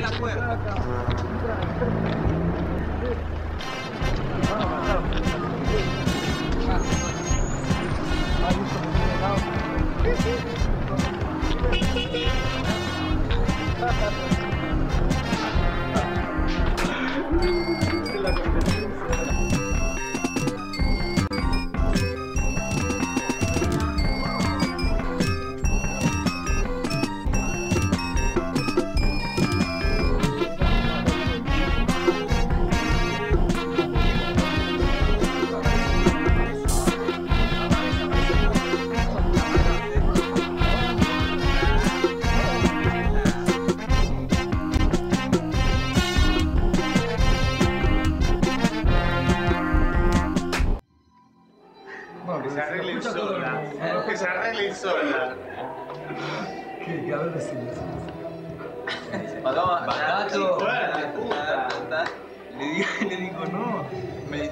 Le digo, pero ¿cómo? le digo, sí, salió vestido. Si me dice batata, no. No sé quién Era yo, tío. Era ¿No él. lo tenés? Me asusté porque me pareció Y si raro. me dice batata, no, no, no, no. Me pareció tan raro. ¿Por qué? Porque me- yo al principio salió vestido. Yo le digo, sí, salió vestido. ¿Cómo hace para sacarme tanta carne?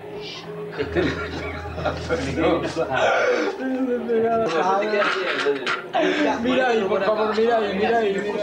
Ella dijo que era. Ella dijo que era un poco rufiane. Bueno, yo hice un viaje de un año que me fui de gira y cuando volví, eh, bueno, siempre nos, nos mandábamos, o sea, amigos entrañables, nos mandábamos cartas o, o tarjetas del país donde estuviéramos y nada, empecé a ver su, su transformación, ¿no? Eh, empecé a ver su transformación a partir del, del primer análisis de HIV que nos hicimos juntos.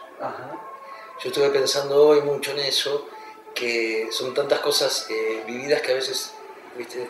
Entonces, bueno, yo recuerdo que, mm, an- sí, en los 85, eh, ¿te acordás de Jauregui, Roberto Jauregui? sí, sí, sí. Bueno, era muy amigo nuestro. Y bueno, se, veía, se venía todo esto del SIDA y esto y lo otro, y bueno, teníamos la posibilidad de hacernos un análisis, ¿no? En ese tiempo era En ese difícil tiempo era gratis. En tu- No, era difícil hacérselo. Eh, era, era difícil hacerlo particularmente, Sí, claro. Entonces, como teníamos esa posibilidad, bueno, me acuerdo que fuimos una mañana juntos, nos hicimos el análisis y Batato todo el tiempo me llamaba preguntándome si yo sabía cuál era mi resultado. ¿Cuál era mi resultado? ¿Cuál era mi resultado? Yo esto después, con el tiempo, lo, lo procesé. Y yo le di mi resultado y él, no, no, recuerdo bien qué me dijo. Eh, pero después yo con el tiempo comprendí que el resultado Era, claro, era positivo. Y, y bueno, a partir de ahí es fue convivir con, con la libertad de Batato. O sea, eso como que yo pasó a otro, a otro, a otro plano. Qué horror, Batato eso es mucho.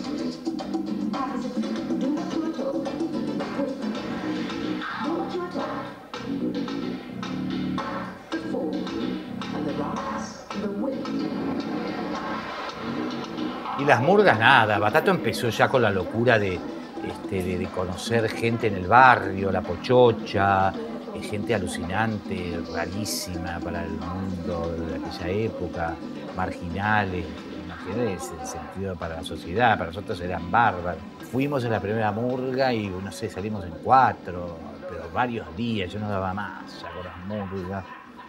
Y este, bueno, Batato se, encontró un- una beta muy, interesante para él ahí. Yo me divertí mucho, cagué de risa con las murgas. Mucho, me divertí mucho. Pero Batato es como que encontró algo. Vivimos y, y conseguimos la transición de, de- de hombre, de- bueno, qué sé yo, como Claudia Conca era un chico que conocimos en las murgas. eh, Juan se llamaba. Batata iba atrás y de repente me toca, estaba vestido de balisca ese día, y me toca así dice, ay, qué piel que tenés. Juanita. Ay, que me toca este. no me gusta a mí de los gays, ¿viste? Dice, ¿cómo te llamas? Le digo, Claudia. Ah, me dice, este, ¿vos haces show? Le digo, no, ¿cómo? Había hecho un show a veces cosas, ¿no? en boliche gay ahí en Escalarín Ortiz. Eh, confusión. En confusión, ahí había hecho bailado de balista. Ah, dice, porque yo hago espectáculo, me dice.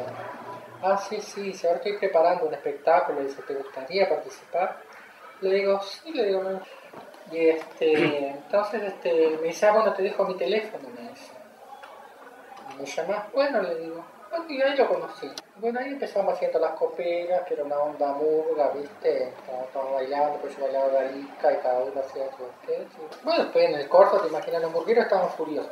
Fuimos a una club ahí en Villurquiza y Noel, ¿qué hacía? Noel se sacaba la peluca así delante de la gente, ¿viste? Y la gente, ¡juan, juan, juan, juan! juan", Y los hamburgueros cantando en el escenario sus canciones de protesta, ¿viste? Y la gente mirándolo a Batato, Rapilleta estaba con su peluca, la boca pintada así, viste, tipo gasalla, los tacos así de señora, viste, desvencijado y estaba mal entrenado. Y la gente se divertía y la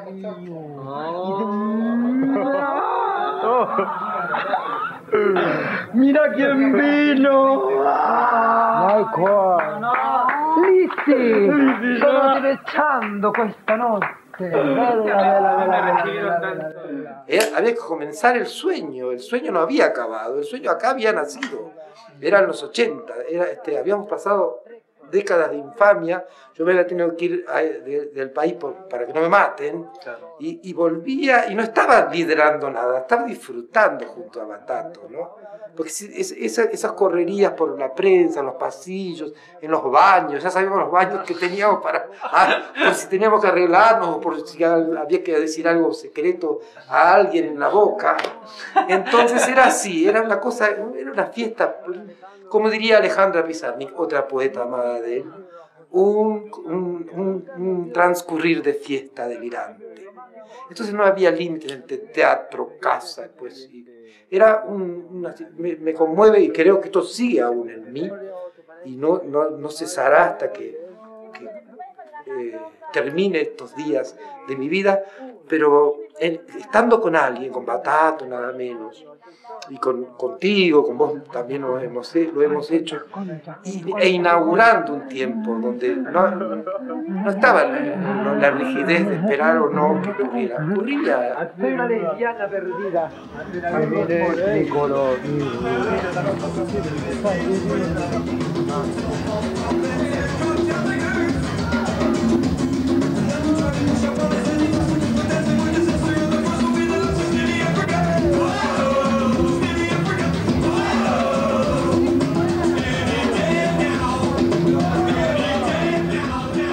Y él me llamó para el primer grupo que formó, que se llamaba Los Peinados Jolie, y yo un día fui a ver un ensayo. Y yo estaba acostumbrada a otro tipo de teatro, más, más tradicionalista, más clásico, ¿viste?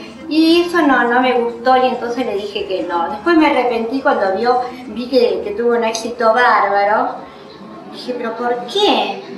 Porque yo no le daba importancia a lo cómico. Y bueno, y después me di cuenta que que eso era más lo mío. Damas y caballeros, Madame señoras y señores, en esta noche de reminiscencias vida A veces me habían ofrecido desnudos, pero yo no quise hacer. Y una vez hicimos, me acuerdo, una escena medio de lesbianismo en ese teatro, no me acuerdo cómo se llamaba, que era como un pasillo larga, que estaba cerca del, del Rojas, este, y que también, y bueno, y era medio, a veces era todo medio improvisado, y ellos me dijeron que iban a hacer dos, eh, que íbamos a una escuela nocturna, él y, y Batato y Rapilleta, y yo era otra compañera más, y íbamos a hacer una especie de, de escena de lesbianismo con ellos, porque ellos hacían de mujer. Pero me empezaron a desnudar, a toquetear, y, y eso no estaba previsto tanto, y yo me puse mal, ¿viste?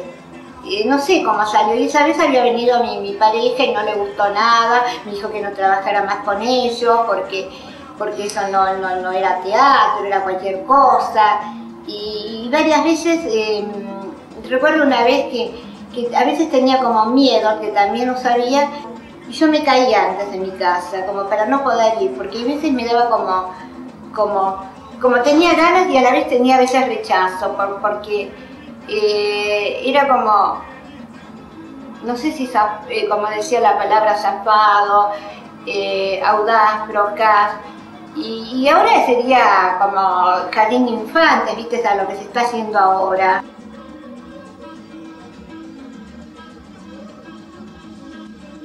Y ese espectáculo fue uno también de los primeros que hicimos juntos, que era. Duraba cinco minutos, no era nada, era simplemente estábamos cosiendo para salir a trabajar. Ni me acuerdo el argumento, pero el chiste era que durara poquísimo.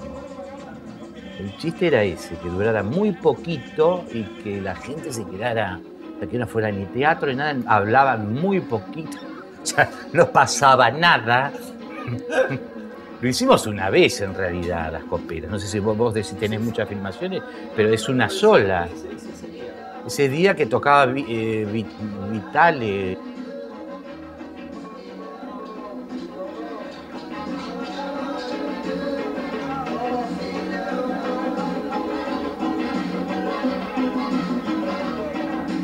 ¿Te acordás, Batato, qué tiempos aquellos?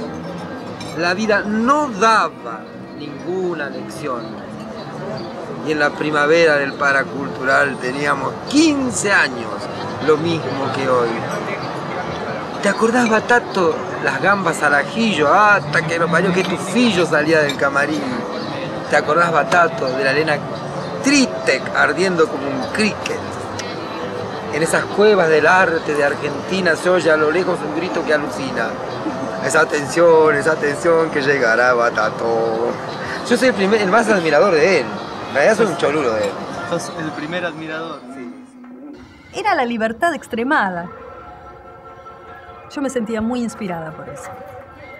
Por, por, por el instante de decir, ah, podríamos con este poema hacer, sí, eh, tal personaje, yo me aparezco con esta ropa y en quizás 10 minutos armaban este, un espectáculo.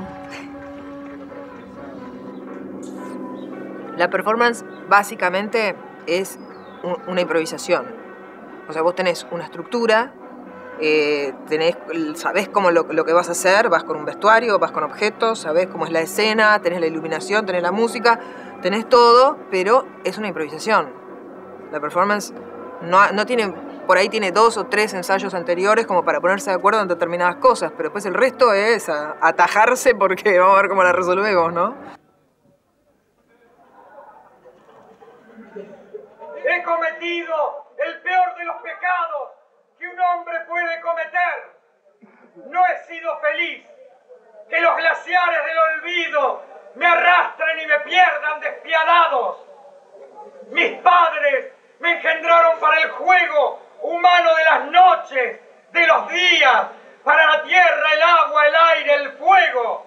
Los defraudé. Cumplida no fue su joven voluntad. Mi mente se aplicó a las simétricas porfías del arte que entretejen aderías. Que mi mente se aplicó a las simétricas porfías del arte que entretejen aderías.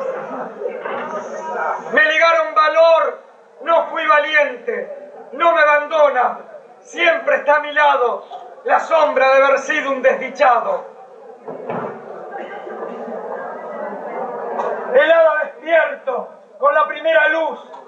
Tras mi ventana, una hoja de arce rojo cae, silenciosa. ¿Qué debo creer? Indiferencia, malicia. Odio el despuntar del día desde aquella mañana en que tu mirada insensible me volvió de hielo como la pálida luna del amanecer. ¡Ay! El más hermoso en la noche de los que se van. ¡Oh, deseado! Es sin fin tu no volver.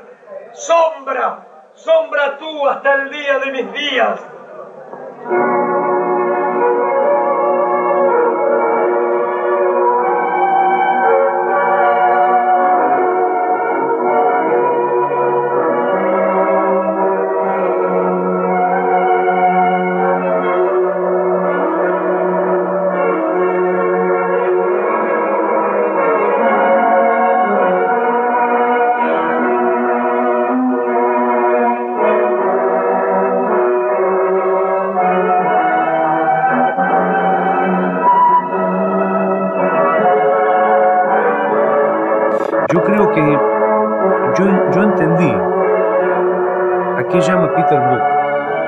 Concepto de teatro sagrado en una función de, de Batato.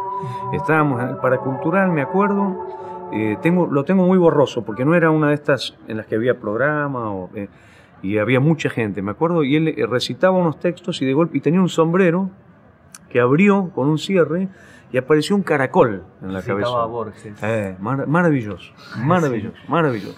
Y la sensación era, yo, yo sentía que estaba viendo simultáneamente a Batato con un sombrero en la cabeza, que yo, pero estaba viendo la esfinge de otro mundo, digamos. ¿no? El famoso teatro y su doble del que hablaba Artaud.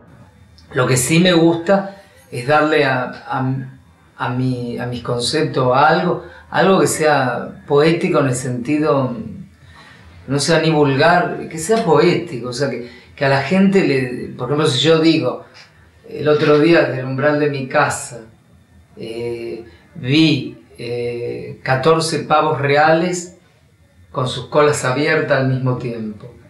O sea, una cosa así, que es esa magia, esa cosa. Eso es lo que me gusta de. Giorgio, por ejemplo.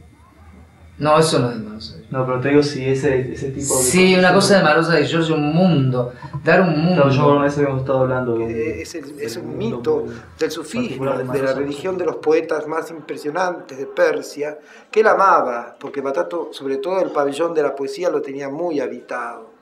Y en esa cuestión eh, hay una anécdota que dice, cuando uno comienza a ver pavos reales, en, en una de las, de las distintas historias que conforman la, la doctrina, digamos, verbal, eh, la doctrina poética del sufismo y de otras religiones de la poesía, eh, la aparición de los pavos reales significa el anunciamiento de la muerte, pero de una muerte que mata a sí misma, no es una muerte cómo eh, él trunca. cómo partía eh, creativamente. Íbamos al 11, eh, cuando cerraban los negocios, y él iba a los containers de, de basura del 11 y abría, había cosas, bolsas abiertas, eh, no, no había mucha suciedad, sino que eran restos de mercadería. Y entonces un día se puso a, a juntar perchas, perchas. Yo digo, ¿pero qué vas a hacer con tantas perchas? Dice, algo vamos a hacer. Y a la semana hizo en el Rojas un texto de Alejandra Pizarnik, este, un texto que es Los perros comen hueso. Y él estaba lleno de perchas. digamos que él era un poeta, no, era teatro solamente lo de él.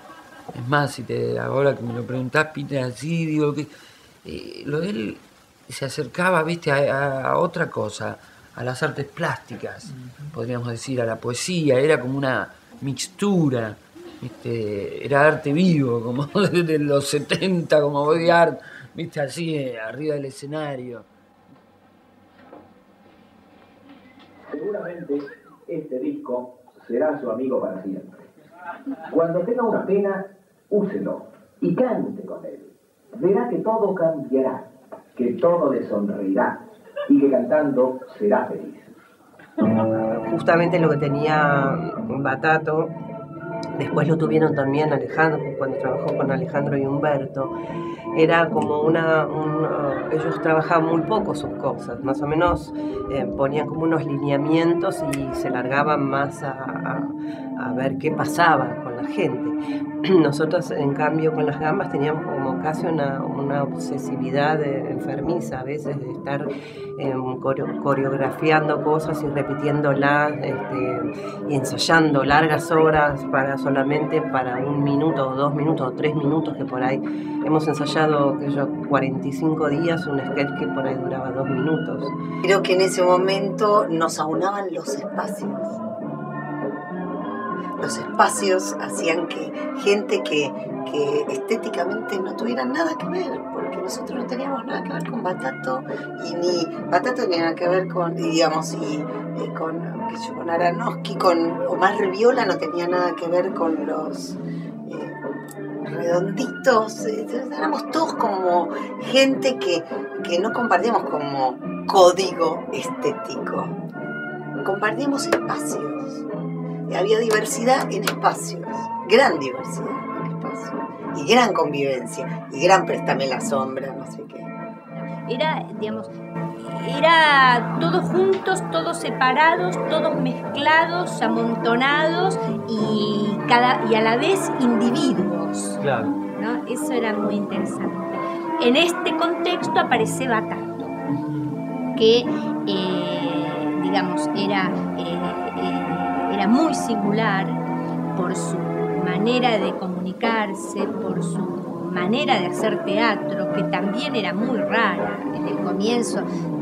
Yo me acuerdo mucho que al principio la gente se quedaba y lo miraba y decía, este tipo, era rarísimo. La gente, quiero decir, los misma, la, genera, la misma generación nuestra, ¿no?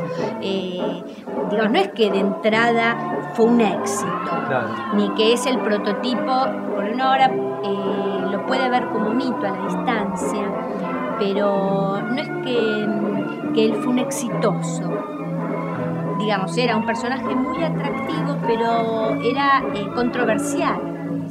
Lo importante es la expresión propia, que yo insisto tanto, que cada uno haga su expresión, no que, eh, que haga lo que siente, o sea, entonces yo hago lo que siento y puede no estar enmarcado ni en el teatro, ni en el varieté, ni en el nada.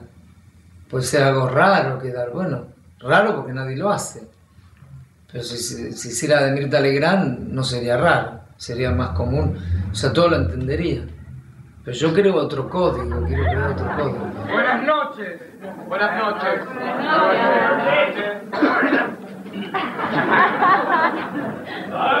Somos eh, las representantes del partido LLL. Lesbianas libres de Latinoamérica. Él hizo de la vida su vida, la vida no hizo lo que quiso con él. Eso sería Walter, un gran payaso, un gran poeta, eh, un, un ser verdaderamente casi místico, que fue tomado como algo, como una estampita hoy día por el sistema eh, para mi punto de vista, porque en esa época todo lo que hacíamos era todo natural y claro, eh, a veces estamos en contra del sistema y pasamos a ser todos parte del sistema, ¿viste? Y muchos otros se instauraron en el sistema.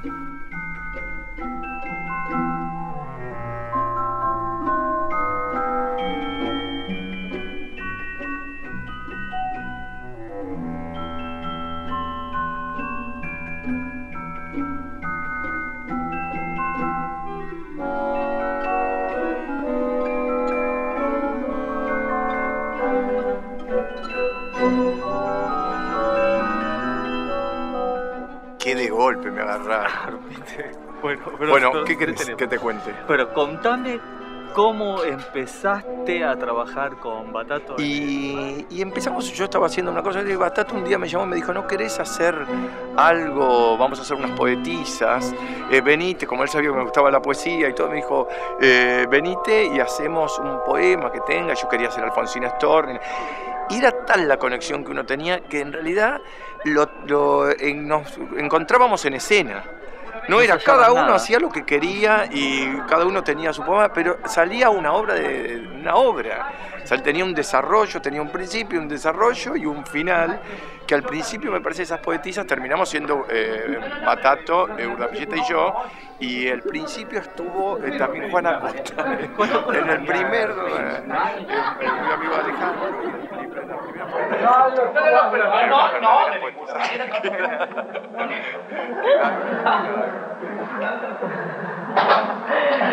Bueno, yo te tengo que decir que tu poema está plagado de rima. La rima es algo antiguo, antiquísimo.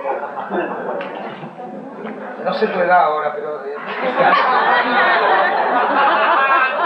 Y a tu poema le falta lo fundamental, el periplo heroico. Eso no está en tu poema. Y es fundamental en un poema, en poesía actual, aunque no haces poesía actual, porque es una cosa muy antigua.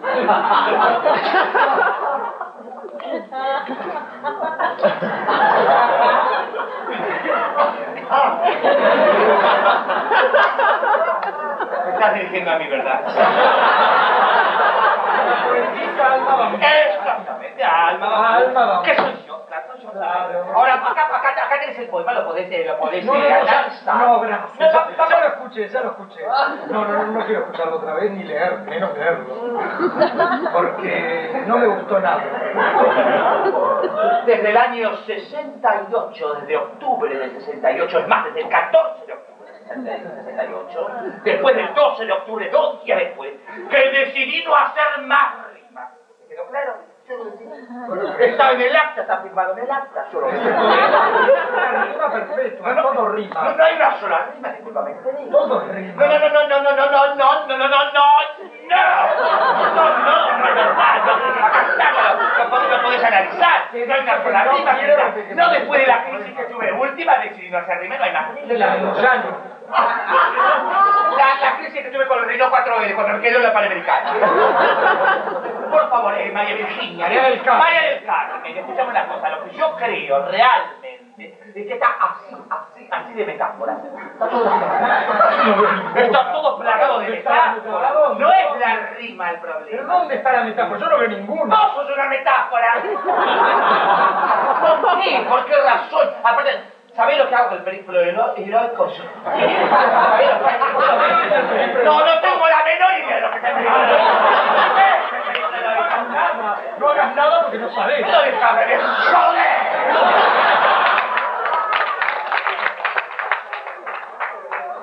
Yo creo que tu estilo pasa... Disculpame, disculpame. Antiguo, es antiguo. Tipo Rubén Darío. Y vos con la vincha que te pusiste de maldito Sánchez Medrano, imagínate. Por favor, estamos acá hablando seriamente sobre poesía, arte.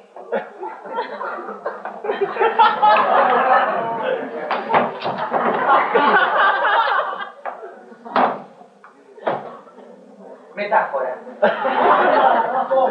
No, yo no veo ninguna ¿Por qué metáfora. no hablamos las cosas por su nombre? Estamos en democracia, hemos luchado por conseguirlo. Esto es un mantel, esto es una mesa, esto es un vaso, esto es una botella. ¡Es agua! ¡Agua! ¡Agua! ¡Eso voy gritando por calles y por plazas!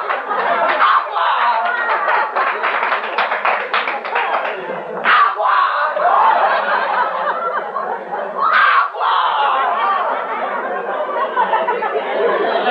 ¡Los quiero!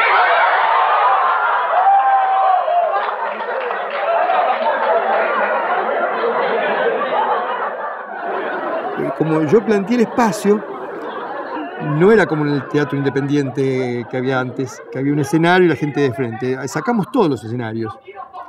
Entonces las cosas pasaban, todo el espacio era para el espectador, un axioma que yo había leído en, el, en, un libro este, de, un Schechner, Richard Schechner, algo así, que es un, tipo que había estudiado las formas teatrales, distintas formas de, de teatrales o parateatrales, digamos, ¿no? En la performance. Y una de las cosas que me, me interesó fue el tema de todo el espacio para el actor, todo el para el espectador. Un poco como trabajaba, por eso yo lo, lo vivía en los ensayos, cuando trabajábamos con Elizondo y demás, donde eh, cualquier lugar era, en cualquier lugar se, podíamos elegir para hacer la escena, no en el escenario solamente. Porque por ahí nos gustaba más otro espacio o un lugar que para nada era, era, era teatral, entre comillas, y lo hacíamos teatral.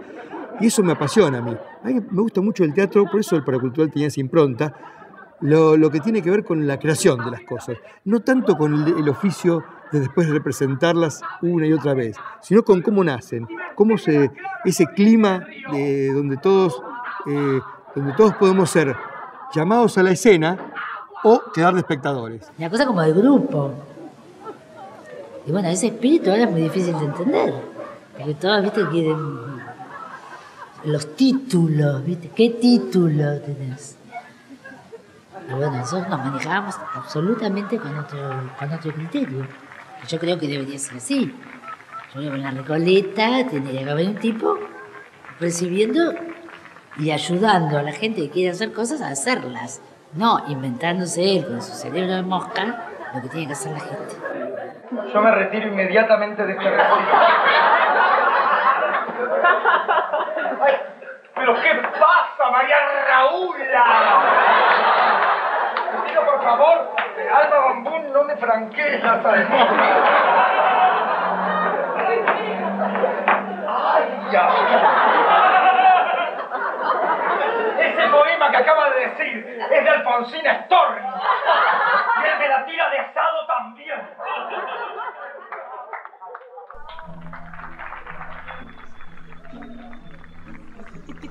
Yo creo que te va a agradar. Mira lo que estoy viendo acá.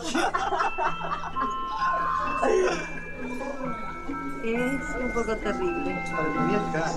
¿A dónde crees que va? Se está volviendo. Ah, bueno, de este lado se ve mejor, ¿eh? Te ves buena, te ves bien buena. ¿No me veo bien buena? Sí, ahora te ves bien buena. Entonces yo estaba lleno de sueños y jugaba con ser una estrella. El paracultural tenía eso. Nos hacía sentir a todos que podíamos llegar a ser protagonistas en algún momento. Pero todo se termina. El paracultural fue desalojado de mala manera y las cosas ya no fueron iguales para nadie.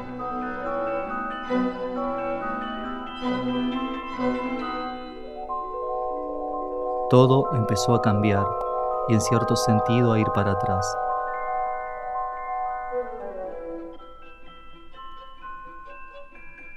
Ahora ya no es tan fácil encontrar sitios donde brillar y poder mostrar lo que uno sabe hacer.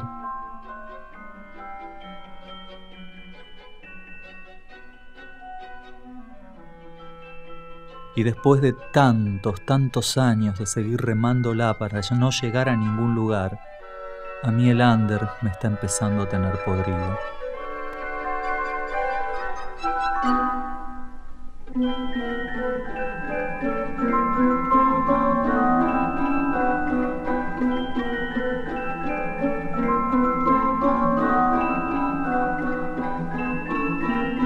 Es inevitable hacer esto. Es como el llamado es inevitable. No sé si es bueno, si es malo, pero lo hago, lo hago porque es como, como, un- como una misión. Es una misión en la vida, ¿no? Hacer esto. Lo que tenía que hacer. Hacer esto, hacer este, ser un artista, como era él. Y la primera vez, yo recuerdo la primera vez que lo vi a, a Walter, a, Claro. a Batato, fue justamente Walter, así, cargando un bulto de, de guerra de- del ejército. Él creo que hab- había hecho marina en, eh, el servicio militar. en el servicio militar. Y, y yo lo, lo- lo- lo- recuerdo porque yo usaba eso porque yo estuve en, bueno, Guerra de Malvinas y, y- y con, con un bolso de guerra. Y me, y me acuerdo de, de- de verlo evolucionar de un, de un soldado a- al batato que, que después se puso teta, Sí, digamos, ¿no? sí, y, sí, vi toda esa evolución y, y fue como también un, un, un- un, este, un flash para mí, ¿no? Claro. Un, un flash para decir, este, siempre lo digo, ¿no? Porque cuando Batato se puso tetas, también yo pensaba, yo también me puedo poner tetas en donde quiera, porque era eso la, la idea. Era, Esa libertad, ¿no? Sí, porque yo le dije, qué lindas tetas que te pusiste. Y, él agarra y dice, no, no me gustan, no me gustan. Y, y, y- y- fue un hecho de ponerse tetas para ver qué pasaba también. Bueno, eh, como todo el mundo lo sabe, o al que lo sabe se lo imagina, eh, la danza cansa. Por eso ahora les voy a presentar a alguien que danza y danza, pero nunca se cansa. Eh, la bailarina que les voy a presentar en esta ocasión ensayó su coreografía 16 horas por día en sus 18 años de internación en el Moyano. Ahora totalmente, porque totalmente recuperada, nos brinda esta obra maestra de la danza nacional. Yo le pediría por favor que recibamos con un gran aplauso a la señorita Batato Varela.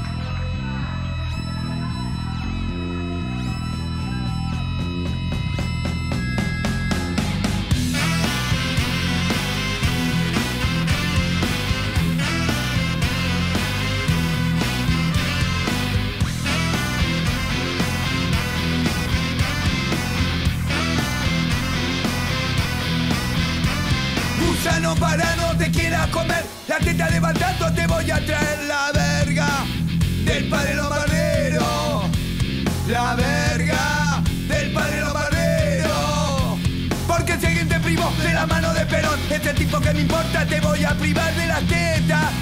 La teta de batato. La teta, la teta de batato.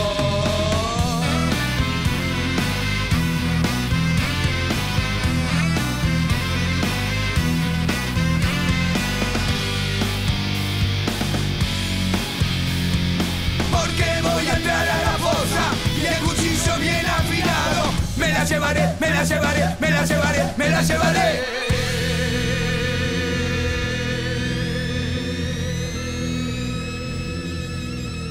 Claro, porque nosotros en realidad era alguien que conocíamos del under y después cuando surge lo de, eh, lo de la aparición en Gasalla es como que era una, como que era de los nuestros, nos Sí, sí. sentíamos como este yo se lo Nos representa. Claro, era como alguien que ahora a todos les gustaba y nosotros loco lo habíamos visto antes, era como. Lo vimos de potrillo. No, era un, un reportaje. En tantos años que trabajan juntos, ¿se llevan bien? ¿No se han peleado? Sí, nos hemos peleado. No, me da unos cachetazos y ya está. Pero por problemitas y... Pavadas, ¿por Pavadas. problemas de vestuario, de carteles? No, no, no, tanto, sino más que nada que te tapa uno en el escenario, un chiste, te jode otra historia Ah, a pero los underground tienen problemas así también de, de, de divismo. ¿Son muy divas? Muy- ¿Hay mucho divismo? Sí, un poco. ¿Y quién, quién es más? Batato. No, pero yo creo que... Una, yo soy diva, ¿sabes Es inaguantable un poco. Pero bueno, porque yo creo que me he ganado un lugar por... No, no, nada más que por... ¿Sabes por qué? Nada más que por cargar bolsos en el colectivo, porque yo voy con los bolsos. ¿Y yo en qué voy? Yo voy- vestida, yo voy en el camión. En el no, pero así vestida es muy incómodo. Con Porque los vos sos la tacos. que lleva toda la ropa, las pelucas, todo. No, no, mías. La tuya. Claro, son muchas, entonces yo cargo mucho, entonces digo, por cargar Ah, tanto... yo pensé uno- que era diva porque llevaba los de ellos también. es diva porque es la única mujer de los tres. claro, nosotros somos vivos. Con el tema de la televisión, me parece que él no quiso o no quería. Yo la verdad que la interna de ese trío muy bien no la conocí porque los tres eran muy particulares y me parece que después agarraban como caminos un poco distintos, ¿no? Batato creo que fue el más atrevido al, al travestirse más o al asumir el personajón que quería ser él. Eh, digamos que él me parece que priorizó su vida y su manera de ser por arriba de la, de la profesión, digamos, ¿no? Me parece que él logró integrar eh, en esa manera que tenía de actuar él, eh, medio clown, medio ingenuo, medio medio dramático por momentos, al final eso le, agarró toda la vida, digamos, ¿no? Encontró como una manera de vivir mezclada con la, con el- con la manera de actuar.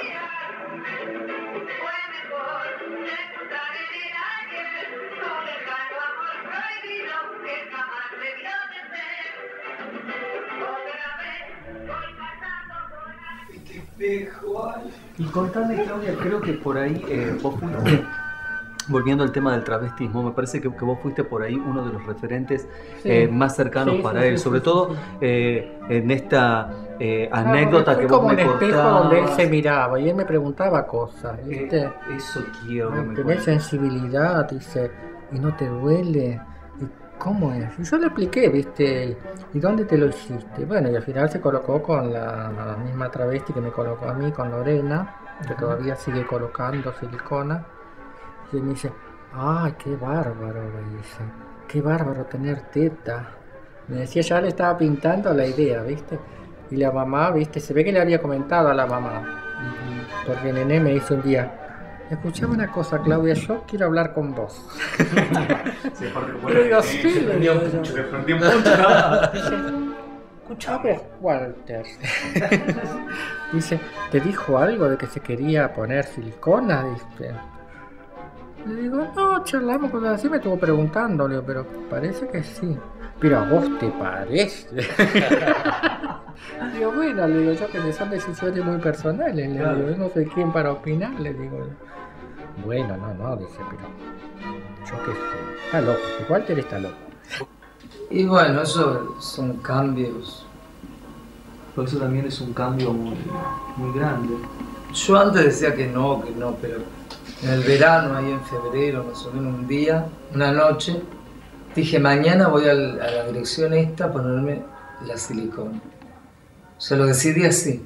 Pero ¿cómo Dije nada más y fui. ¿Qué fue? ¿Tenías amigos que ya se habían puesto? Ya se habían puesto. Pero yo no quería poner.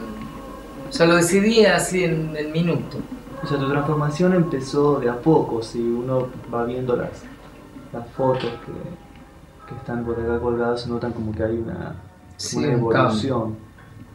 O sea, empezó de a poco. ¿Cómo- ¿Cómo fue que fuiste viviendo ese cambio? ¿Cómo fue la metamorfosis? ¿Cómo fue? No, y fue, sé yo, haciéndolo.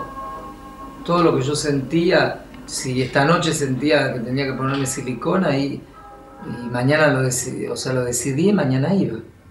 Y lo hacía, ¿no? sin pensar demasiado. ¿no? El después sí, después trae- me trae la reflexión y todo. Tal vez el- el- la angustia del cambio y Claro, ¿cómo- ¿cómo asumís un, un cuerpo Sí, muy nuevo? difícil.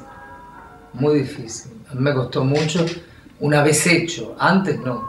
O sea, cuando me lo iba a hacer, me, lo fui y lo hice, me tiré a la pileta. Pero después me costó mucho. Y todavía no estoy. Y hace ya marzo. ¿Nunca pensaste en gas en algún momento? No, no, eso. Ya cuando una cosa está hecha, está hecha. ¿Y qué, qué- qué es lo, lo que pensás? ¿Qué es lo que cuando vos decís como que... Y te agarra angustia. te- Aparte que no te ves bien, porque vos te conoces de una manera y en cinco meses, toda una vida de una manera, y en cinco meses yo no, no sé cómo me ven bien, no, no tengo idea. Y por ahí me veo en un espejo y me veo unas tetas así y digo, claro, es raro, qué sé yo. No es una cosa... ¿Y no tiene algo bueno? Lo, no, lo bueno que tiene es que cambia un poco la actitud de la gente en la calle. O sea, los tipos te dicen piropos, te paran los autos. Y eso a mí me divierte, la verdad, pero hasta ahí nomás. Pero no me no- divierte el levante, que me levanten y que por las tetas, porque los tipos lo primero que miran son las tetas. O por lo menos en la calle. Eh, vas caminando y, y te miran ahí. O sea, como una cosa fija. Y de atrás no sé porque no se ve, se me ve el culo porque no sé. Yo no como estoy de espalda, no veo. No, está en el poema. Leo el poema, muestro las tetas.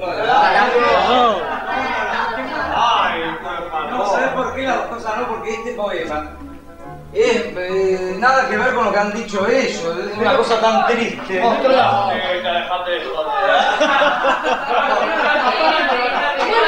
el poema triste. Después del no, poema no, una cosa o la otra. La gente está deseosa de tus No, no, no. no el poema. No le pasa para mostrala, no puedo mostrarlo porque estoy con el coso todavía. El, el, la- el riel, un. Que le sostiene porque si no se le va la garganta, le quedan tres tetas acá. Como bocio. Mostrá. Bueno, muéstrame vos. No, no, no, no, el poema es muy largo. Una teta y mitad del poema.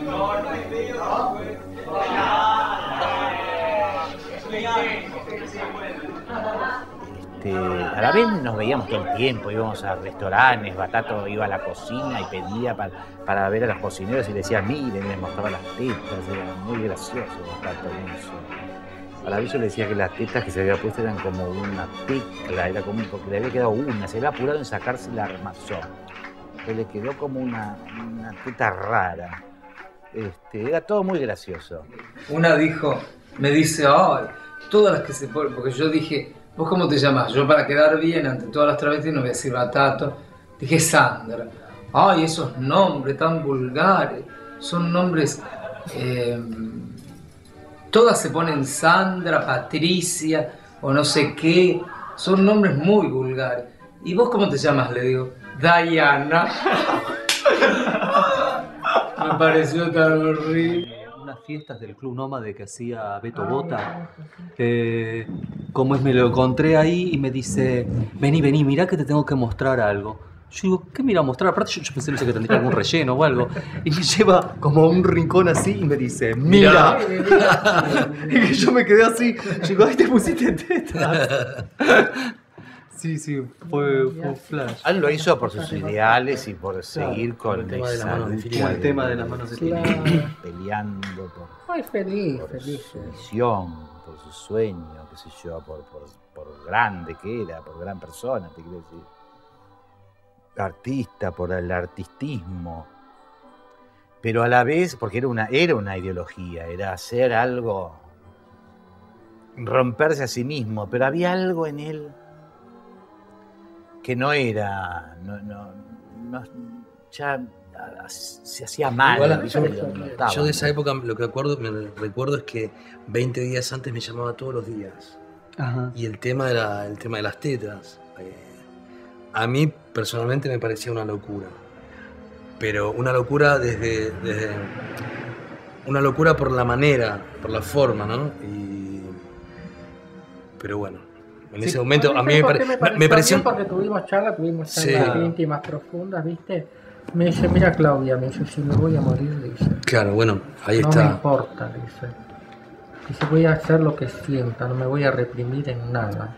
Claro, eso ¿Vos Está sabías que estaba enfermo ¿no? él o te lo imaginabas? Sí, sí, porque él me contó, me dio a entender así, ¿viste? Cuando fui a la casa, y cuando vengas a casa te voy a contar.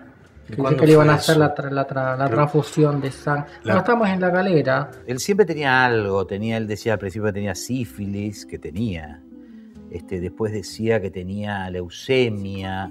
eh, yo no le creía. Este, Humberto y yo hablábamos. y decíamos, ¿Por qué? Se iba deteriorando. Antes de las tetas, se iba deteriorando, en las tetas también. ¿no? Ya no, no sé yo definir exactamente los tiempos. no me acuerdo el año. No, no, no. Claro, pero cuando empezó a sentirse mal. Claro. Ah. Sí, sí, sí. Ella se había sentido mal cuando estábamos en el paracultural haciendo los jueves paracultural. Y el, último día del paracultural. Sí. ¿Te acordás cuando? Sí, me acuerdo, sí, estaba mal, encima una pilleta le había dicho cosas feas, Sí, ¿viste? le sí. dijo de todo, y él se abrazó a mí, se Sí, puso a estaba llorar, mal. ¿a vos te parece? Me- Y bueno, no le hagas caso, estas cosas pasan en cuestiones de competencia del ego, yo qué sé, ¿viste? Bueno, Cosas del ego. sí, y, este, y él quedó muy mal esa vez, quedó muy, muy mal. Después en la casa estuve, de vuelta me volvió a decir, ¿y vos qué opinas? ¿Qué te parece, digo, bueno, le digo, tómalo, le digo, como de quien viene. Le digo, vos sabés que Alejandro es así, es impulsivo, es loco. Sí, pero no me puede hacer me quedó muy dolido. Este, porque le dijo incluso, dice, porque a vos te hacen nota. ¿Sabés por qué te hacen nota? Porque sos un travesti. Delante mío, le dijo, sí, mal. Vos te pusiste loco. Claro, te imaginas, pobre, digo, ¿cómo me va a decir así? Si se lo hace, ¿cuál es el problema? A mí ya los travestis me habían aburrido soberanamente, me había separado un poco de eso, cosa que me han criticado. Pero me abrí y a la vez este, notaba que no merecía lo que le pasaba, me dolía eso. Eh, Bueno, entonces. Eh, No, es la última. Acaba, acaba. Ningún despedida. Ay, me crecieron los pelos de una forma. sí, sí, sí, ya muy caído, estaba eh, rodeado por gente también que a mí no, no, no me, no me parecía, había algo ya, salvo la madre, que era un- una divina, ¿no? Y el padre, pero el padre menos. Pero había algo como que a mí no, no me parecía sano, ¿viste? Todos inyectando, ¿eh? No, no de pico, inyectándose siliconas y, y todos hablando en mujer y qué sé yo. eh. La que murió allá quemada, que le cortaron las piernas, una cosa, una historia, ¿viste? Esa- esas historias eran las que a mí me ponían frenético. ¿Entendés? Pues No no moralmente, sino que realmente no había, era, era buscar el precipicio. Batato siempre tuvo eso, ¿eh? Yo, yo decía eso, este, yo le, le he dicho a él, vos tenés algo de suicida, sin saber nada, por ejemplo, al principio, de, de lo del hermano. La primera murga que fuimos, me acuerdo, caminando con él por una plaza en, Palermo, le dije, Batato, vos tenés algo, le digo, como, como con el suicidio, nunca me lo había contado. Y ahí me dijo, sí, porque me pasó esto, esto y esto, y lo del hermano, de Ariel. Era un secreto, estaba muy lleno de secretos, era muy, muy taurino, muy leal consigo y guardaba todo eso, ¿no? Pero entonces este, no me bancaba que no rompiera con eso. Yo lo que esperaba de él era que, que- que- se sacudiera a sí mismo y que en vez de andar en, en cosas y empezó como, empezó a delirar un poco también Batato, ¿sabes? ¿Qué te puedo decir yo? Yo también habré empezado a delirar, te quiero decir, era toda una masa de delirios, sumada a la cantidad de trabajo y qué sé yo. Este, bueno, en un momento... No, no, era- no dejaron de ser los mismos. En las locas bailan y bailan yo de- de salir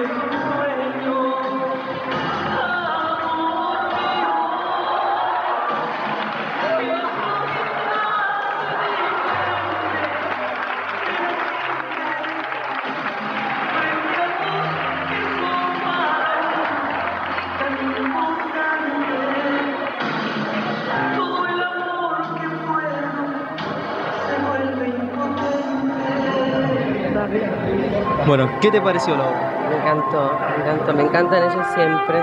¿Siempre los vas a ver? Mucho, hace muchos años. ¿Qué te parece que aportan de nuevo? Todos, sí, todos ellos son una cosa rarísima y nueva y distinta, me parece. Me encantan.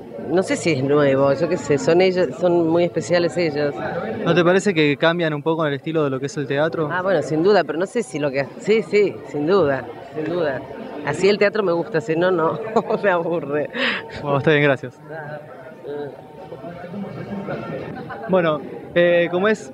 ¿Cómo te pareció que salió la obra hoy? Bien, lo que pasa es que estoy sordo, no tengo retorno, estoy resfriado porque voy a una médica homeópata. Y bueno, eh, tengo, estoy, estoy de concha resfriada. ¿Qué opinas de Batato?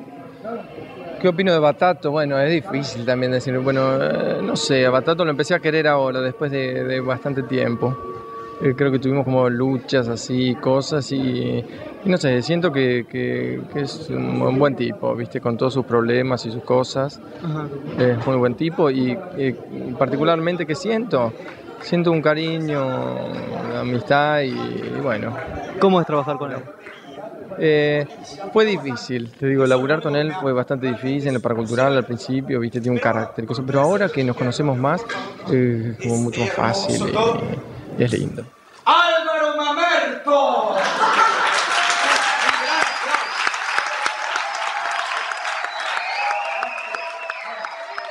Bueno, vamos a hacer un precalentamiento con mis poderes. ¿Estás preparado? ¿Estás preparado? ¿No trajiste los anteojos? ¿Qué vas a estar preparado?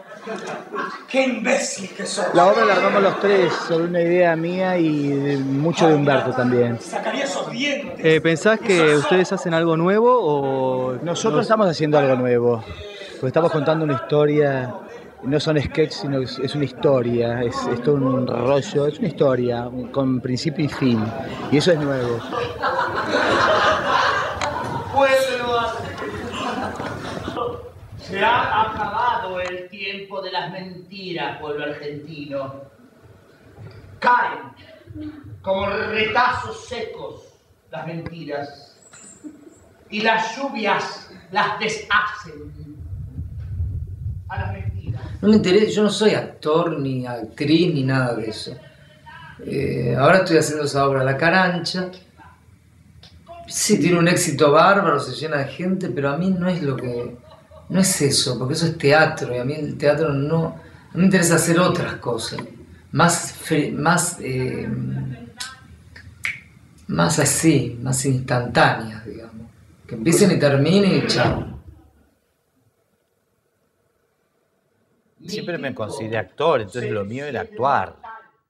Entonces, este, quería abrirme de un poco también, quería mostrar que podía hacer cosas distintas también a, a- a sketch, porque había una crítica al sketch, ¿entendés? Bueno, pero eso no es teatro, eso, ¿entendés? Quería mostrar también, a lo mejor una cosa egocéntrica, pelotuda, pero bueno, lo hice. También por Eh, con procesos personales, ¿no? Claro, yo- eh, te manera. No, romper también con lo que había mostrado, ¿entendés? Porque tampoco quería que la gente creyera que era este, un, un clown. Por ejemplo, yo nunca fui clown. Me dispongo a declarar la única, la última, la primera y la fundamental verdad de todas las verdades. La mentira. Pueblo argentino. Mira, los actores a mí no me gustan, son gente inmunda, ¿viste? Son gente que a mí no me gustan para nada, porque son falsos, siempre dicen, ay, somos frágiles, nos sentimos niños. Eh, todo mentira, son falsos, gente falsa. O sea, hay más gente más falsa y menos falsa. Pero yo no soporto la falsedad ni el, eh, viste, que, ay, ¿cómo te va? ¿Cómo te-?". No, a mí me gustan pocas palabras, viste, y certeras y que digan lo que digan y no demasiada, viste. O sea, la chorulés tampoco me gusta. Bueno, como verán, esto no es un espectáculo, no se vayan a, a confundir. Es una simplemente tertulia poética. ¿Se escucha ya? Ah, bueno. Así que les doy, no sé, cinco minutos si quieren irse porque se van a aburrir. Solamente vamos a comer. Si hay algo, si hay algo que, que, divie- que los divierta, bueno, eso es una cosa que se le ocurrió a cada una, eh, porque ven lo que son, pero somos, mejor dicho. Y, así que no es un espectáculo, eso es lo que quiero aclarar. Y por eso. ¿Qué te pasa? Que, que escuché mal que, que no es un espectáculo. Humberto, no lo he visto.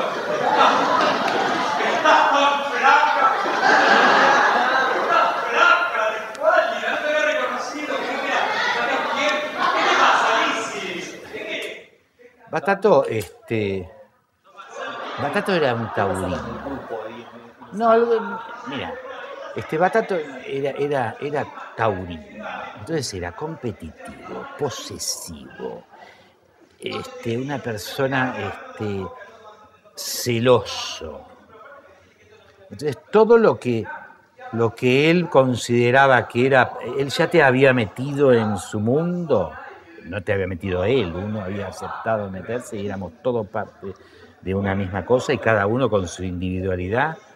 Bueno, él de eso hacía de repente, te podía llegar a decir, este, no, porque este es el tipo de teatro que nosotros no queremos. Yo decía, ¿y el clown que haces vos? Le decía, "¿Vos qué hago? ¿desde cuándo te crees que a mí me gustó el clown que vos hacías con el club del clown? O sea, pero todo esto no, era una- no eran discusiones este, negativas y de pelea, nos cagábamos de risa de lo que hacíamos. Seguíamos riéndonos de lo que hacíamos, no había una cosa de que, "Ah, el teatro tal o esto. Estábamos trabajando, ¿viste? Estábamos haciendo camino y rompiendo cosas. Eh, ¿Te puedo decir algo? Mira, no, te puedo decir algo, pero quiero decir yo. que no, no, yo, mira, oye, no, porque vamos, estamos discutiendo y por un montón de problemas. ¿Por qué no lo pusiste con camiseta? ¿Por qué no lo pusiste con camiseta ahora? Soñar, no, soñar. ¿Por qué no lo pusiste? Explicar a la gente por qué no lo pusiste con camiseta. Eso. Explicar. Porque la camiseta está muy ocupado. No, no, y está como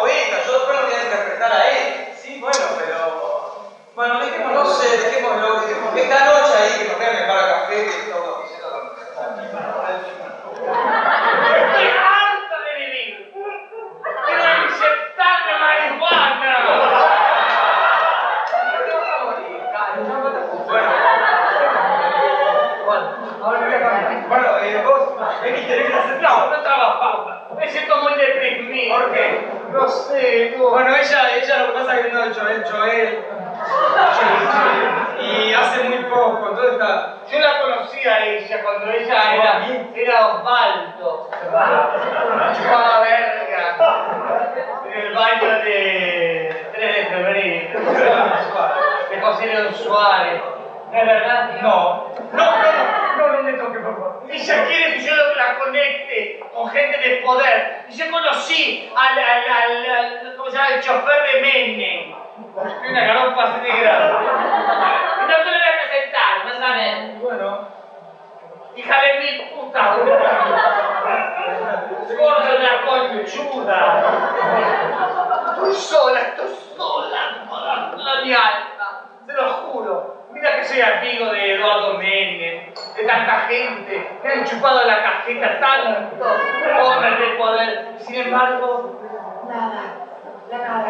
De repente, sola, con un esfuerzo, aturdida por la soledad, aturdida por la muerte caminante. Y de repente, esta hija de mil puta, lloramos. ¡Soy tortillera! Así de claro, amo a una mujer y yo, mujer, es lo mejor. No, escucha, este show, no sé que es una gabarquina. No, no, no, no, por favor. Ya terminaste andate, andate. No. Estoy con el perico.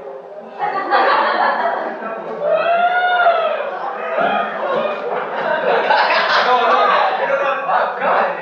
Bueno, eh, vamos a ver. Ahora yo les voy a presentar a la diosa bisexual, Humberta. Con su. Sí, música, música. No, esa no. Saca, no, eh. Déjame a mí. Saca esa.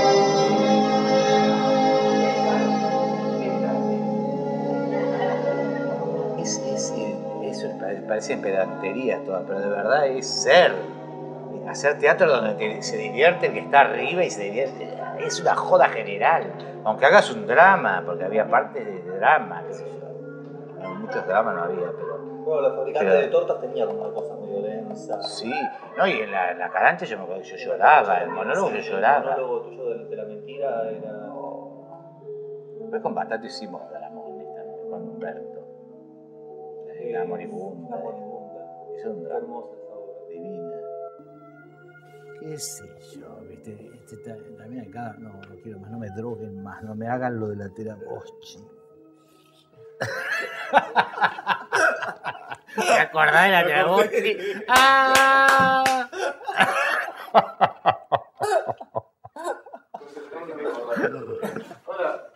Bueno, salud, eh. Además se regala totalmente, me después de que hizo Borges. Ahora que lo tenemos armándose un polvo gigante de flor. Bueno, batato no usa drogas. No, batato no. Nada.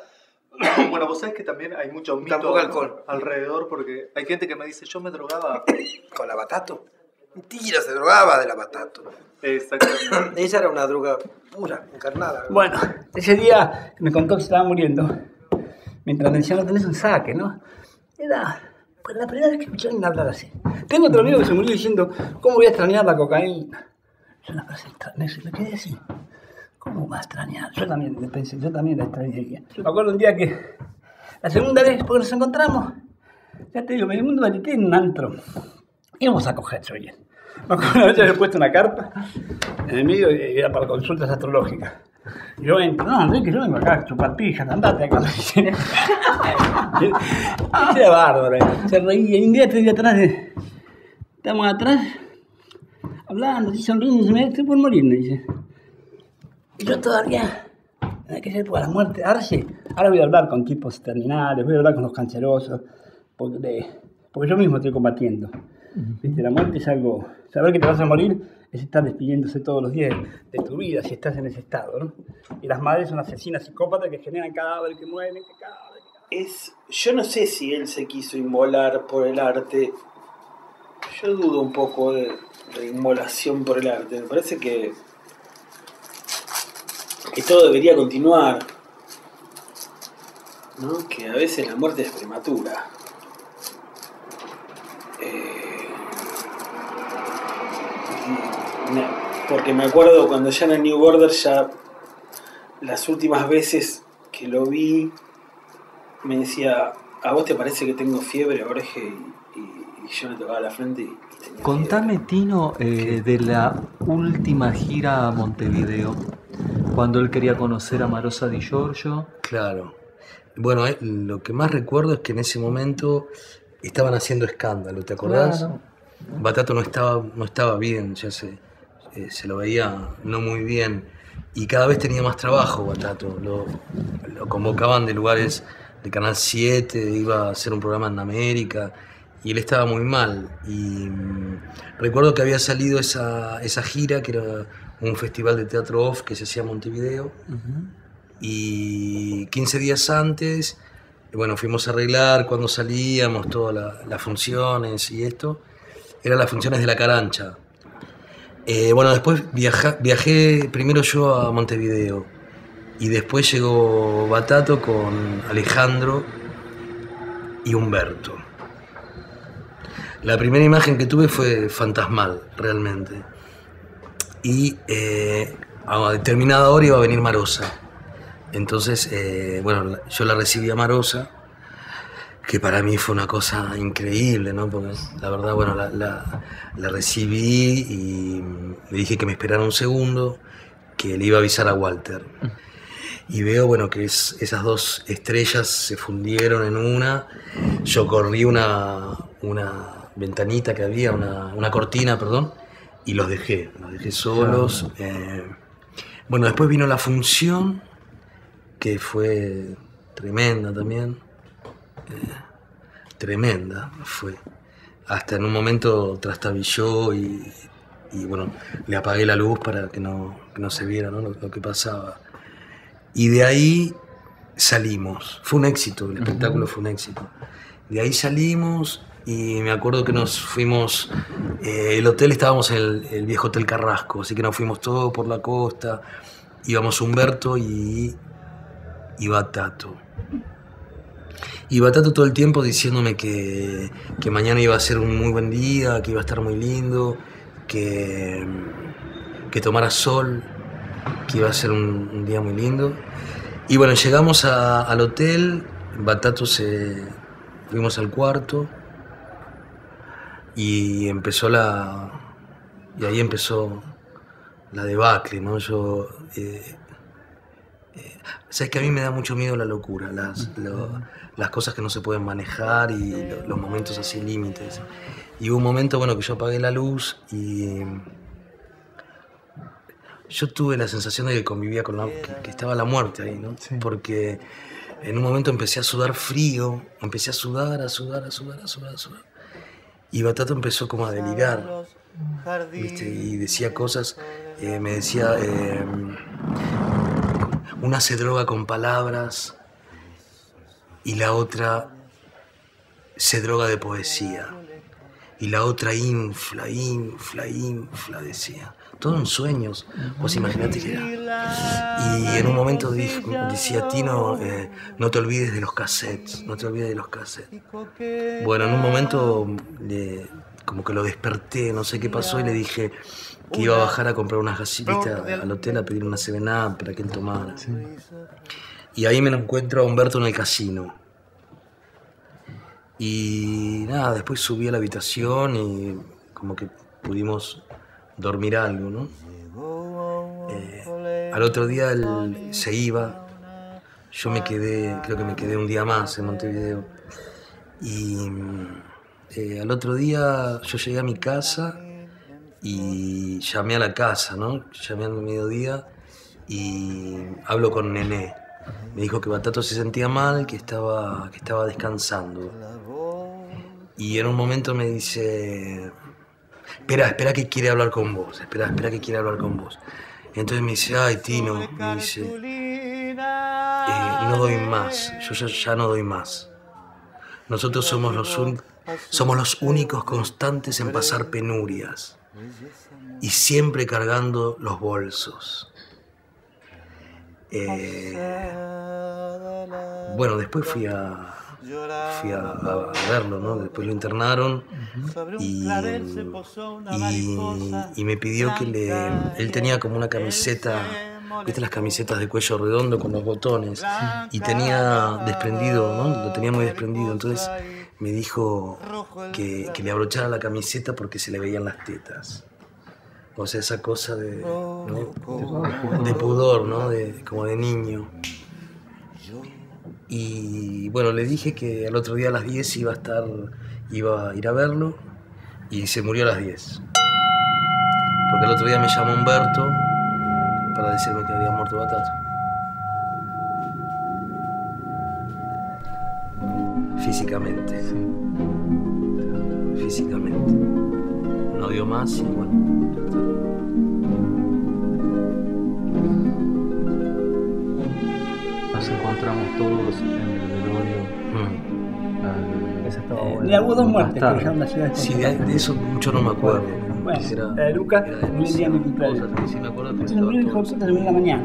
que había lobos, Y la fiesta lobos, se me lo hizo. Y cuando murió Batata también.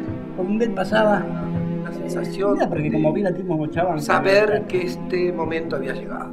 Entonces llegó y ese momento no fue solo una caída, sino fue un- una especie de elevación absoluta ¿no? de Batato en su final, en su aparente muerte, que incluso Sergio Abelo le llenó con globos eh, la cruz y fue eh, milagroso, ¿no? Porque ya, yo ya había visto No me- ¿Sabes que no me acuerdo de haberlo visto muerto? tan trascendental en tantito. Estaba en el cajón, pero estaba tan pintado y tan de arreglado. bruces hacia el y tan- Él tenía el pelo todo blanco, como de colorado. Y cayó de bruces hacia Yo el cielo también. bastante, y a veces era como que nos, no sé por qué se decía, por la redondez de los ojos, de algo que teníamos, al estar los, el pelo así, como la redondez de los ojos, ¿ok? Que, que había un parecido. Y de hecho cuando yo lo vi en, en el cajón, tuve un impacto tremendo, porque como me vi falleció, todo, para funeraleros al funeral. Un funeral maravilloso, ¿no? Uno- o sea, había una tristeza, pero había unos colores, un colorido. mono violeta y estaba precioso con ese, con ese kimono. Eh, yo me sentí que me moría. empujada sobre los desaparecidos y aplastada por el esa muerte rondando y poder mantener la, la vida dentro de eso, me parece que, que eso es lo que tenemos como más interesante, como tener sueño, haber podido sobrevivir en esa, en esa cosa. Y creo Seguir. que de alguna manera también Quedó como una idea, de- como de un brillo, ¿no? Eso está bien. Peor sería que quedara una idea deprimente. El 4 de diciembre de 1991, cuando Batato volvió de Montevideo, escribió su último poema y su mamá me lo regaló tiempo después. Estoy de paso, solo he venido para pronto irme. Sí, me iré, con gran pena, dejando en el camino recorrido tormentas, poesías, angustias, nostalgias, placeres, risas, lágrimas, confusiones, teatros inciertos, escarchas, lluvias, relámpagos, estrellas, centellas, luna, sol, tierra, fuego, agua, guerra. Ya es bastante lo que dejo.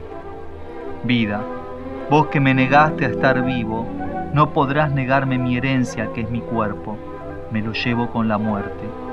Con las manos apretadas, sangrando mi dolor en silencio, acongojado mi pecho, mi cuerpo tembloroso, la sangre helada, fría, tan fría como el miedo de esta regalada muerte, murmurando constantemente, no puede ser, no puede ser.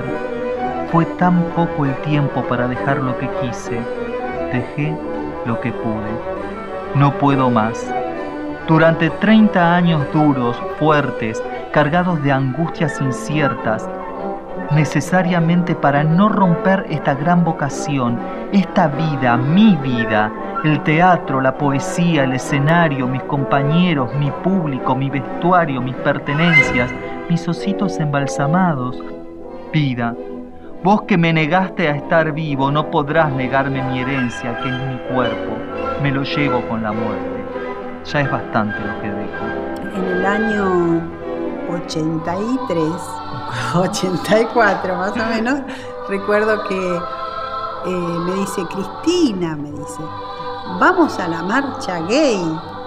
Y yo le digo, no tengo ganas. Me dice, es acá nomás. Yo estoy este, comprometido con eso porque yo dije, no, claro, me parece muy bien. Imagínate que después de vivir siete años en Europa, viviendo con sede en París, eran como motivaciones que a mí no me, no me resultaba todavía no había caído yo en Buenos Aires. Claro. Y eso lo hacía, eh, salía de un bar, se reunían en un bar que estaba en Ayacucho, creo, Ayacucho y Santa Fe, o Riobamba y Santa Fe, que todavía hay una confitería ahí. Y de ahí salía eso que fue la primera marcha gay donde él estaba muy ansioso, muy comprometido todo esto. Entonces después, ya te digo después, cuando me entero de su muerte, y me entero del transformismo que él había hecho con su cuerpo, la transformación, entiendo, lo puedo evaluar como, una, como un gesto político de él. Bueno, yo, si me permitís, quiero decir dos cosas. A mí me parece que él lo que hizo fue dar un gran paso para el tema de la homosexualidad. Me pareció que él fue un tipo que se jugó en eso también. Cuando todo el mundo condenaba y hacía protestas, él hizo una jugada magistral con eso. A mí me parece que abrió un camino, que nadie lo recuerda por eso, pero él abrió un camino muy importante. De visibilidad, ¿no? Sí, porque no hay por qué. Primero, porque nadie dice que cuando te presentan que sos heterosexual, ¿por qué tienen que decir que sos homosexual? Es como decir, ah, viene un negro, ¿por qué no dicen que viene un blanco? Claro. Pero es más o menos así. Y él abrió un camino muy importante, entonces eso me, me parece que es importante decirlo. La vaca no da la leche, se la quita. Y el que quiera celeste, que mezcle azul con blanco.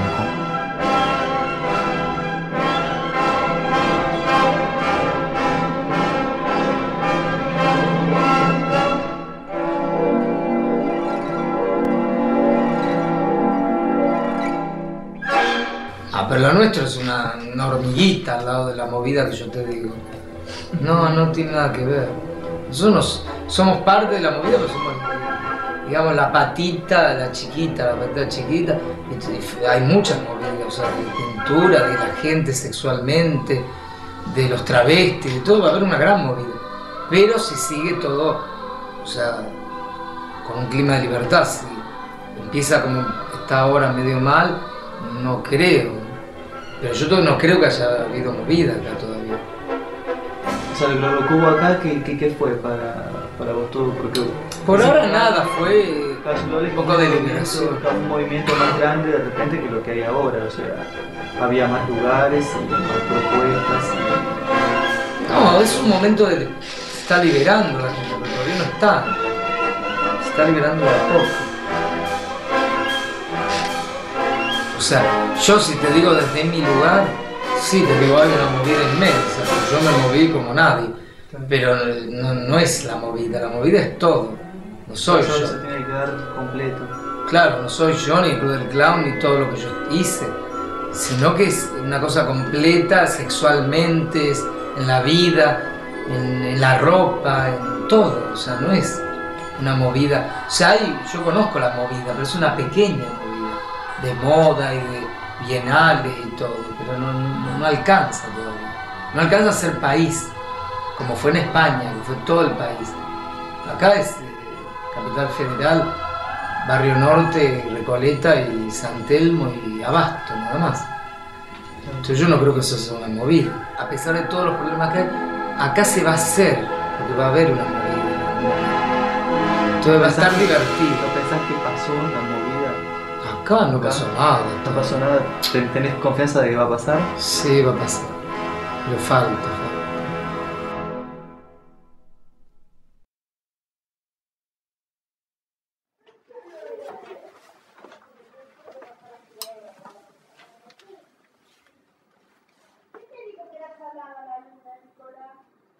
Bienvenido, Peter. Bienvenidos a Batatópolis, Museo Casa de Batatobarea. Hola, Charles. ¿Cómo estás? Bien. Sos el visitante 21 de febrero. Ah, bueno, es con fecha. Claro. Y a vos te tocó Nunca estamos preparados para lo que esperamos. Wow. es muy fuerte. Bienvenido. Gracias, chao. Nos vemos. chicos. Nunca estamos preparados para lo que siempre al azar. Es, es al azar.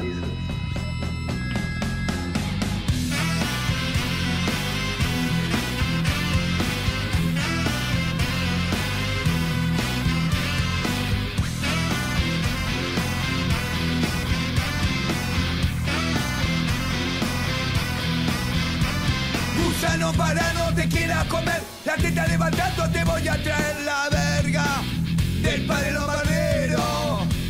La verga del padre Lombardero. Porque el siguiente primo de la mano de Perón, este tipo que me importa, te voy a privar de la teta. La teta levantando. La teta, la teta levantando.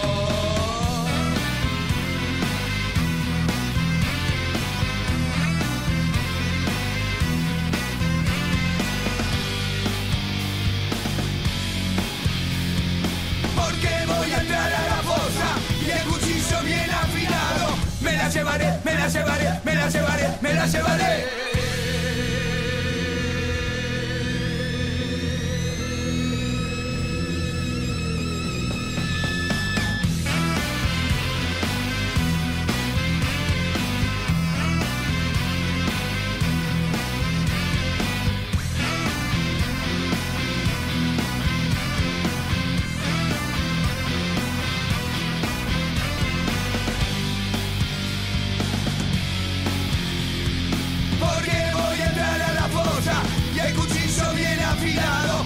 llevaré, me la llevaré, me la llevaré, me la llevaré.